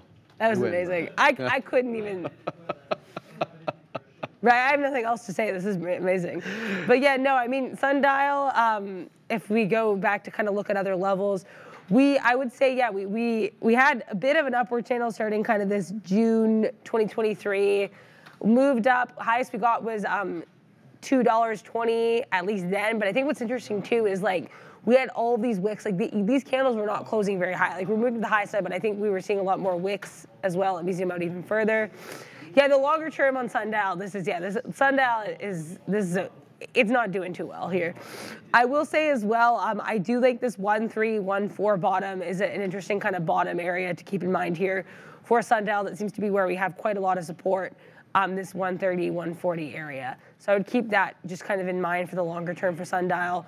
Right now, though, good look for Sundial SNDL. Uh, guys, I want to mention to you that MSOS is not the only weed ETF. There's MSOX, which is, uh, I believe, a two times levered uh, fund. Yeah, so this one is up big, 12.14% now. Uh, Fabian, if you're able to, 15%. Well, now it's just moving around, uh, making me look silly here because every time I call it out, it changes. But yeah, this one's up 10.5% at the moment, while MSOS is halted and only up 4.14%. So if you're looking for a little bit more action with respect to the this weed catalyst here, MSOX on the Amex exchange is a two times levered uh, ETF for the uh, for the weed. Um, Let's see what the components are for this bad boy here, MSOX. Where is my uh, component part? Eek, um, holdings, that's what it is, holdings. All right. So what is in this bad boy? So, are you kidding me? Its top, its second highest holding is 54% of this fund is US dollars, cash. What am I trading it for then? What the hell does it have to do with weed? This is Actually? hilarious. Yeah, the top, it's, t- it's second largest holding, which accounts for 54, 54% of the fund's uh, holdings is US dollars cash. All right, whatever. Anyway, it's moving. That's all we really need to know. Up 12%. Be careful. Um, MSOS still halted at that um, $7.04 area. So we'll have to wait and see. Tilray. There, that's a double levered. Yeah, that's what I'll say. MSOS is a regular, MSOX is double. Um, Tilray coming off a little bit here, guys. Got into that $2.43 area, now right back into $2.30. This was well over 7% now, kind of giving a little bit back here as people digest the information and uh, maybe take some profits, who knows. But wheat still in focus. We'll keep talk. We'll keep talking about this. The more information we get, but sadly, nothing coming in on my blotter quite yet. There's the Brendo. Um, all right, so let me pull that up, and I will send. I'll show that to you guys as soon as I can. Adara, take over for a sec. Yes, I will. Um, I pulled up this ABVC here, seeing some mention of it in the chat. And also, this one um, was a small cap runner earlier today as well. Um, I think not doing too much now, though, I have to say. Like, we had this um, really nice move to the in the pre-market, start 730. Um, we moved from 130 to, to 250 plus. So this would be a dollar club winner for you if you were there right bright and early at 730 for ABVC. Shout out to Sean and the Dollar Club. What was the news on this guy? Okay, so um, the company and its subsidiary. Oh, I love how that. his head pops in and he's smoking a joint. yeah, Sean. I Go love all the, the Sean specific buttons. They're such a fun time. There's a lot. But yeah, so um, trading after the company and its subsidiary received a milestone payment of 46 million shares from A at at bit. I cannot read this name. I feel like an AIBTL Biopharma under a global licensing payment. So yeah, I think that that is definitely um, an interesting one. Right now, though, AB um, ABVC seems to just be really hugging this um, this range of 189 to about two dollars. So not not too much happening here with ABVC, I have to say. But you know, former runner from earlier today. I think this one has ran in the past as well. Let's look at the daily chart on AB to the V to the C. Um, but yeah, no, I, I mean, yeah, like this one, we, we, you know, not the first time we've run. Really interesting too. If we want to talk about levels here, which which I would like to, because I like talking about levels. This um this 192 area has been we had we closed here on um, November 22nd, then we came back here again. This is definitely an interesting area. Um, yeah, not the first time ABVC is run, not a bad look if it can kind of hold this area, but I would say in terms of like a bottom, uh, it seems to have a lot of support around this 110 area for this um this little small cap over here, this BVC. Yeah, not not a bad look over here as well. Um, Disney breakout is um, being said by Mark Susi. So let's look at. I was looking at Disney earlier today too, with regards to the um, Nelson Peltz win in the offensive um, going on there from, or I guess the defensive going on from Disney and some of its allies. Yeah. Oh my God, Disney. Disney killing it. Oh, it's nice. Yeah, I was saying like I was like, oh, maybe it'll go back to that 91 area of like you know where support becomes resistant. No, it was like I- 91 who 9150. So yeah, really good look here on um, on Disney. I have to say, breaking out to the upside, the House of Mouse doing very well House here. of Mouse. All right, Yeah. Brendo sending me this. This comes to us vis-a-vis Punchbowl News. DEA tell, tells House of Representative lawmakers marijuana review is ongoing. This the, the review that they're talking about is the classif- classification recategorization that was suggested to them by the Department of Health and Human Services late last year to remove it from a Schedule 1 drug and to reduce it to Schedule 3. This is what they're talking about when they're saying the review is ongoing. So could just want to confirm that with you. The other thing I want to mention, MSOS unhalted up 2.81% at $6.97. So be uh, be on the lookout for that in case you don't want to trade the double levered name. Also, the Katina man is still holding his Mara short.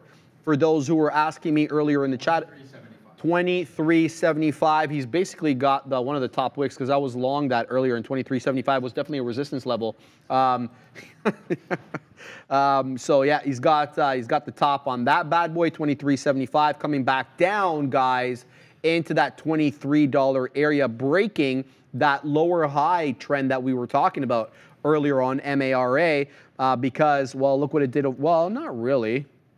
I mean, kind of. I'd say the $23 break probably would be the break of the, the higher lows because look at this trough over here is what I'm talking about. That basically bottoms out at 23. And it's also the support level from yesterday's close. Happens to be that $22.94 area. So awfully close to that whole dollar level of 23. Mar coming back down though, wasn't able to take out that 23 and three quarters, the level that we had been talking about essentially uh, since we got on the midday.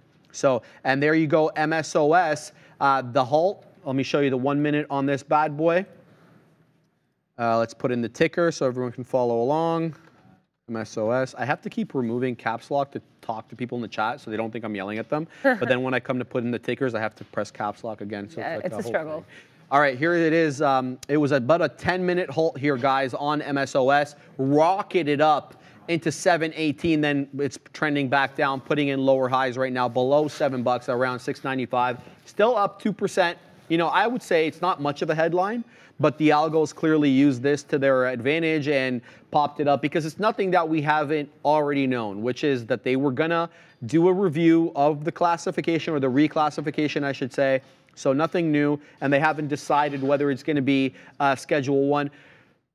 Look, I think that you know basically the lawmakers are already getting around the whole classification of Schedule One and Schedule Three. There was uh, the new type of Safe Banking Act, not the actual Safe Banking Act itself. There was a new version of that which allows these interstate operators to bank without the bank having to say to them, no, look, we can't let you uh, bank at our institution because technically it's still illegal federally. That kind of gets around that whole thing because the problem was there was so much money being dealt in cash and that you know presents all sorts of tax tax evasion opportunities. Also allows uh, organized crime to get in. Uh, so they want to get rid of all that and they wanted people to bank so that they could track their money essentially. Um, and that was the whole point of the new uh, safe banking act. I forget the name of it though uh, which allows these interstate weed operators to bank safely with whatever financial institution that they choose so I would say to you, the real the real catalyst here is going to be federal legalization. Nothing short of that really is going to make this one skyrocket. But what do I know? Um, ooh, it's Handy Randy on the ones and twos, giving the Chilean Nightmare a bit of a break. Um, not much uh, for me to, to say here, Adara, other than uh, I was looking for a short on Apple when we rejected 16.6 on the future, but that didn't end up happening because Apple is holding view up. Yeah, that's what I would say. Like, I also was looking at Apple. I'll pull up Apple for a moment here. I was looking at Apple for um, this kind of break of this one 183 to the downside. Do you know what I mean? That was where I was interested in Apple. Like I said, I thought we were going to maybe flat bottom breakish. A bit of a double bottom there too. Yeah, right. But then it ended up double bottoming, and that's why you know, as you were saying, and as you were saying, Greg said like, um, and participate, don't anticipate. Bang. You know, let wait for the market to tell you what it wants you to do, and that with that in mind, um, the Eli Lilly chart told me to go long Lilly one more time. Dude. Oh yay! Go, Randy.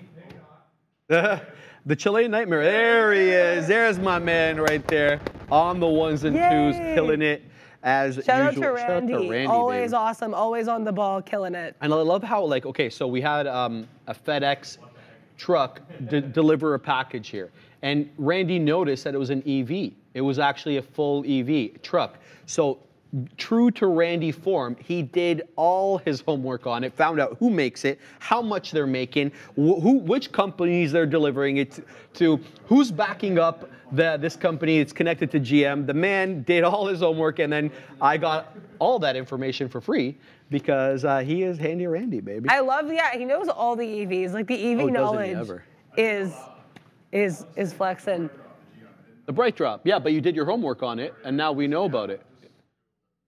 It's called BrightDrop, by the way, and it's backed up. Come on tomorrow. Absolutely, yeah. Randy's always, always available. Okay, that's it. Randy's gonna be on tomorrow. Yay! Okay. Oh, Oh wow, I love that. there's like that infinity mirror thing again. I love it. That was so cool. Do it again, Fabian. There he is. Look at it. I love it. I- Having a great time, guys. Um, so tell us about the FedEx EV. That's it, Paul. That's all I've got to say about that. It's called BrightDrop, and they make uh, they make more of them than Rivian was able to make of the Amazon delivery vans. That's number one. Number two, they're backed up by General Motors, and it's not just FedEx they're selling to. They're selling to a bunch, but I don't want to ruin it. Randy will be on tomorrow. He'll be talking up a storm, so make sure to tune in tomorrow for another special edition of Randy's Rants. Ranty. Yeah. You have it, folks. All right, 10 minutes left on the show. Adara, what do you got? Yeah, I mean, I got into this Eli Lilly trade. Uh, very few shares. I saw the 614 holding. I was like, you know what? Like, I, I don't trade after the midday anyway. So I was like, it, the trade will be as long as, um, you know, I'm here for the rest of this midday. So 10 minutes. If we break below the 614.30 decisively, I am, or 613.40 decisively, I'm out. Right now, it's going well. Profit taking around 615 because, like I said, I don't like to, you know, overstay my welcome in these trades. Um, I just wanted to take one last trade um, because you know it looked good. I, I- but by that I mean the chart looked good, and I was like I may as well kind of get involved in this while I have the opportunity. I don't want to like go just sitting like twiddling my thumbs if I see an opportunity right there. You know what I mean? I think my issue earlier today is I kept kind of trying to chase trades, and this trade just you know sat on my doorstep, and I was like I will take it. Also shout out to um, Be with Rhymes with AMC. Someone make Randy and Ranty Randy T-shirt. I like it. I think that'd be very fun. Yeah, also Diamond Realty of Miami, 305, saying up Randy's Elon's advisor. yeah, I mean, he's definitely the EV king around these parts, let me tell you. definitely. Um, although I love Sharif's rant earlier about BYD and, and Oh my Tesla. God. That it was a- just so misleading, making Yeah. BYD look like they overtook Tesla. They didn't. They're about 250,000 cars short of that number. So, no, not yet. Yeah. Um, all right, guys. In case you are just joining us today, Michael Noss was on at 11:30. We talked a lot about swing trading and how he gets his ideas uh, and finds his swing trades. It's a proprietary scanner built into the Trade Ideas platform. If you are not a Trade Ideas member, there is your opportunity right there. Trader TV 20 gets you 20% off. Visit the website tradeideas.com or scan that barcode on your screen, and here it is. For those of you who are already members, this is how you pull it up. You hit new on the Ideas Pro bar over here. So this is the default bar that you get. You're gonna hit new. You're gonna go to docked channel bar. It pops up an empty screen over here. On the left, you're gonna see a whole bunch of different pre-made scanners. Look at this, pre-market, after hours, stock racing, anchored, VWAP. Shout out to Brian Shannon. Is that a picture of Brian Shannon right there? No, that's not him. All right, anchored VWAP. We hear a lot about that. Uh, well, he was on the show with you yesterday, wasn't he? The, Brian Shannon? Yeah, he was. He was with the Katina man yesterday. Every Tuesday he's on. So any Brian Shannon fans, make sure to check out the Katina Man's Market recap show on Tuesday. But here it is, swing picks. That's what the Noss boss was telling us to click. You click that swing trick, uh, swing picks uh, option, and there you go. You get the whole thing loaded up. All your TI strength, technical indicator strength uh, down here. It lists them in order of priority. You click on this bad boy, and then you get the charts over here so you can have a look and see what Michael's looking at. Michael also uses the gap scanner. And specifically, what he's looking for on the gap scanner, he wants to see if there is sector confluence. Are there several stocks from similar sectors or similar, similar industries that are all gapping up today? And if there is, there's typically a macroeconomic catalyst for that particular sector. And so that gets him interested and he starts narrowing down those stocks for whichever one he likes the best. So multiple ways that Michael Noss uses to find his trade ideas for swing trades. In case you missed it earlier on, go back to the 11:30 uh, time slot on the show and have a watch while he was on. I think he was on for about 20 or 25 minutes. But this is what he does. Shout out to him for coming on. We couldn't thank him enough, Adara, and for uh, teaching us essentially how to uh, find swing trades. Yeah, I think it was a really good learning lesson for me as well because I have, I guess, learning lesson that's so redundant, but a good learning opportunity to learn a lesson about swing picks because I don't, I don't swing trade. You know what I mean? I'm still very new to this world. So I think, especially as someone who whose intraday style is very um, scalpy, it's a lot you know, it's it's less kind of you know focused than I like. So I think like hearing from someone like Michael Noss, Yes, ma'am. who knows what he's talking about, who you know was really gracious and took the time to chat with us today and learned about his swing picks, you know, really opens my eyes. You know, maybe I'll I'll look kind of more into swing because I think with swing too, what's interesting with intraday, you're just thinking about kind of how much is it going to move today, right? Swing, you have to plan your whole like, you know, your whole life cycle for it, right? Because you don't know how long you're going to be in it. Like it's a whole, and I know you you do swings as well, I right? do, it's- yeah, yeah, I guess I have a question for you then. Yeah, yeah, yeah. How do you find your, and I- maybe this is like you know self, but I'm just curious. How do you find your your I guess your watch list kind of and your your stock picking strategy varies for day trades versus swing trades? Oh, 100%. They're Yeah. completely separate. Uh, for for swing trades, I'm liking uh, strong macroeconomic uh, macroeconomic tailwinds. Like for example, um, like for my meta trade last year that we that I, I held for like I think it was two quarters of almost six months.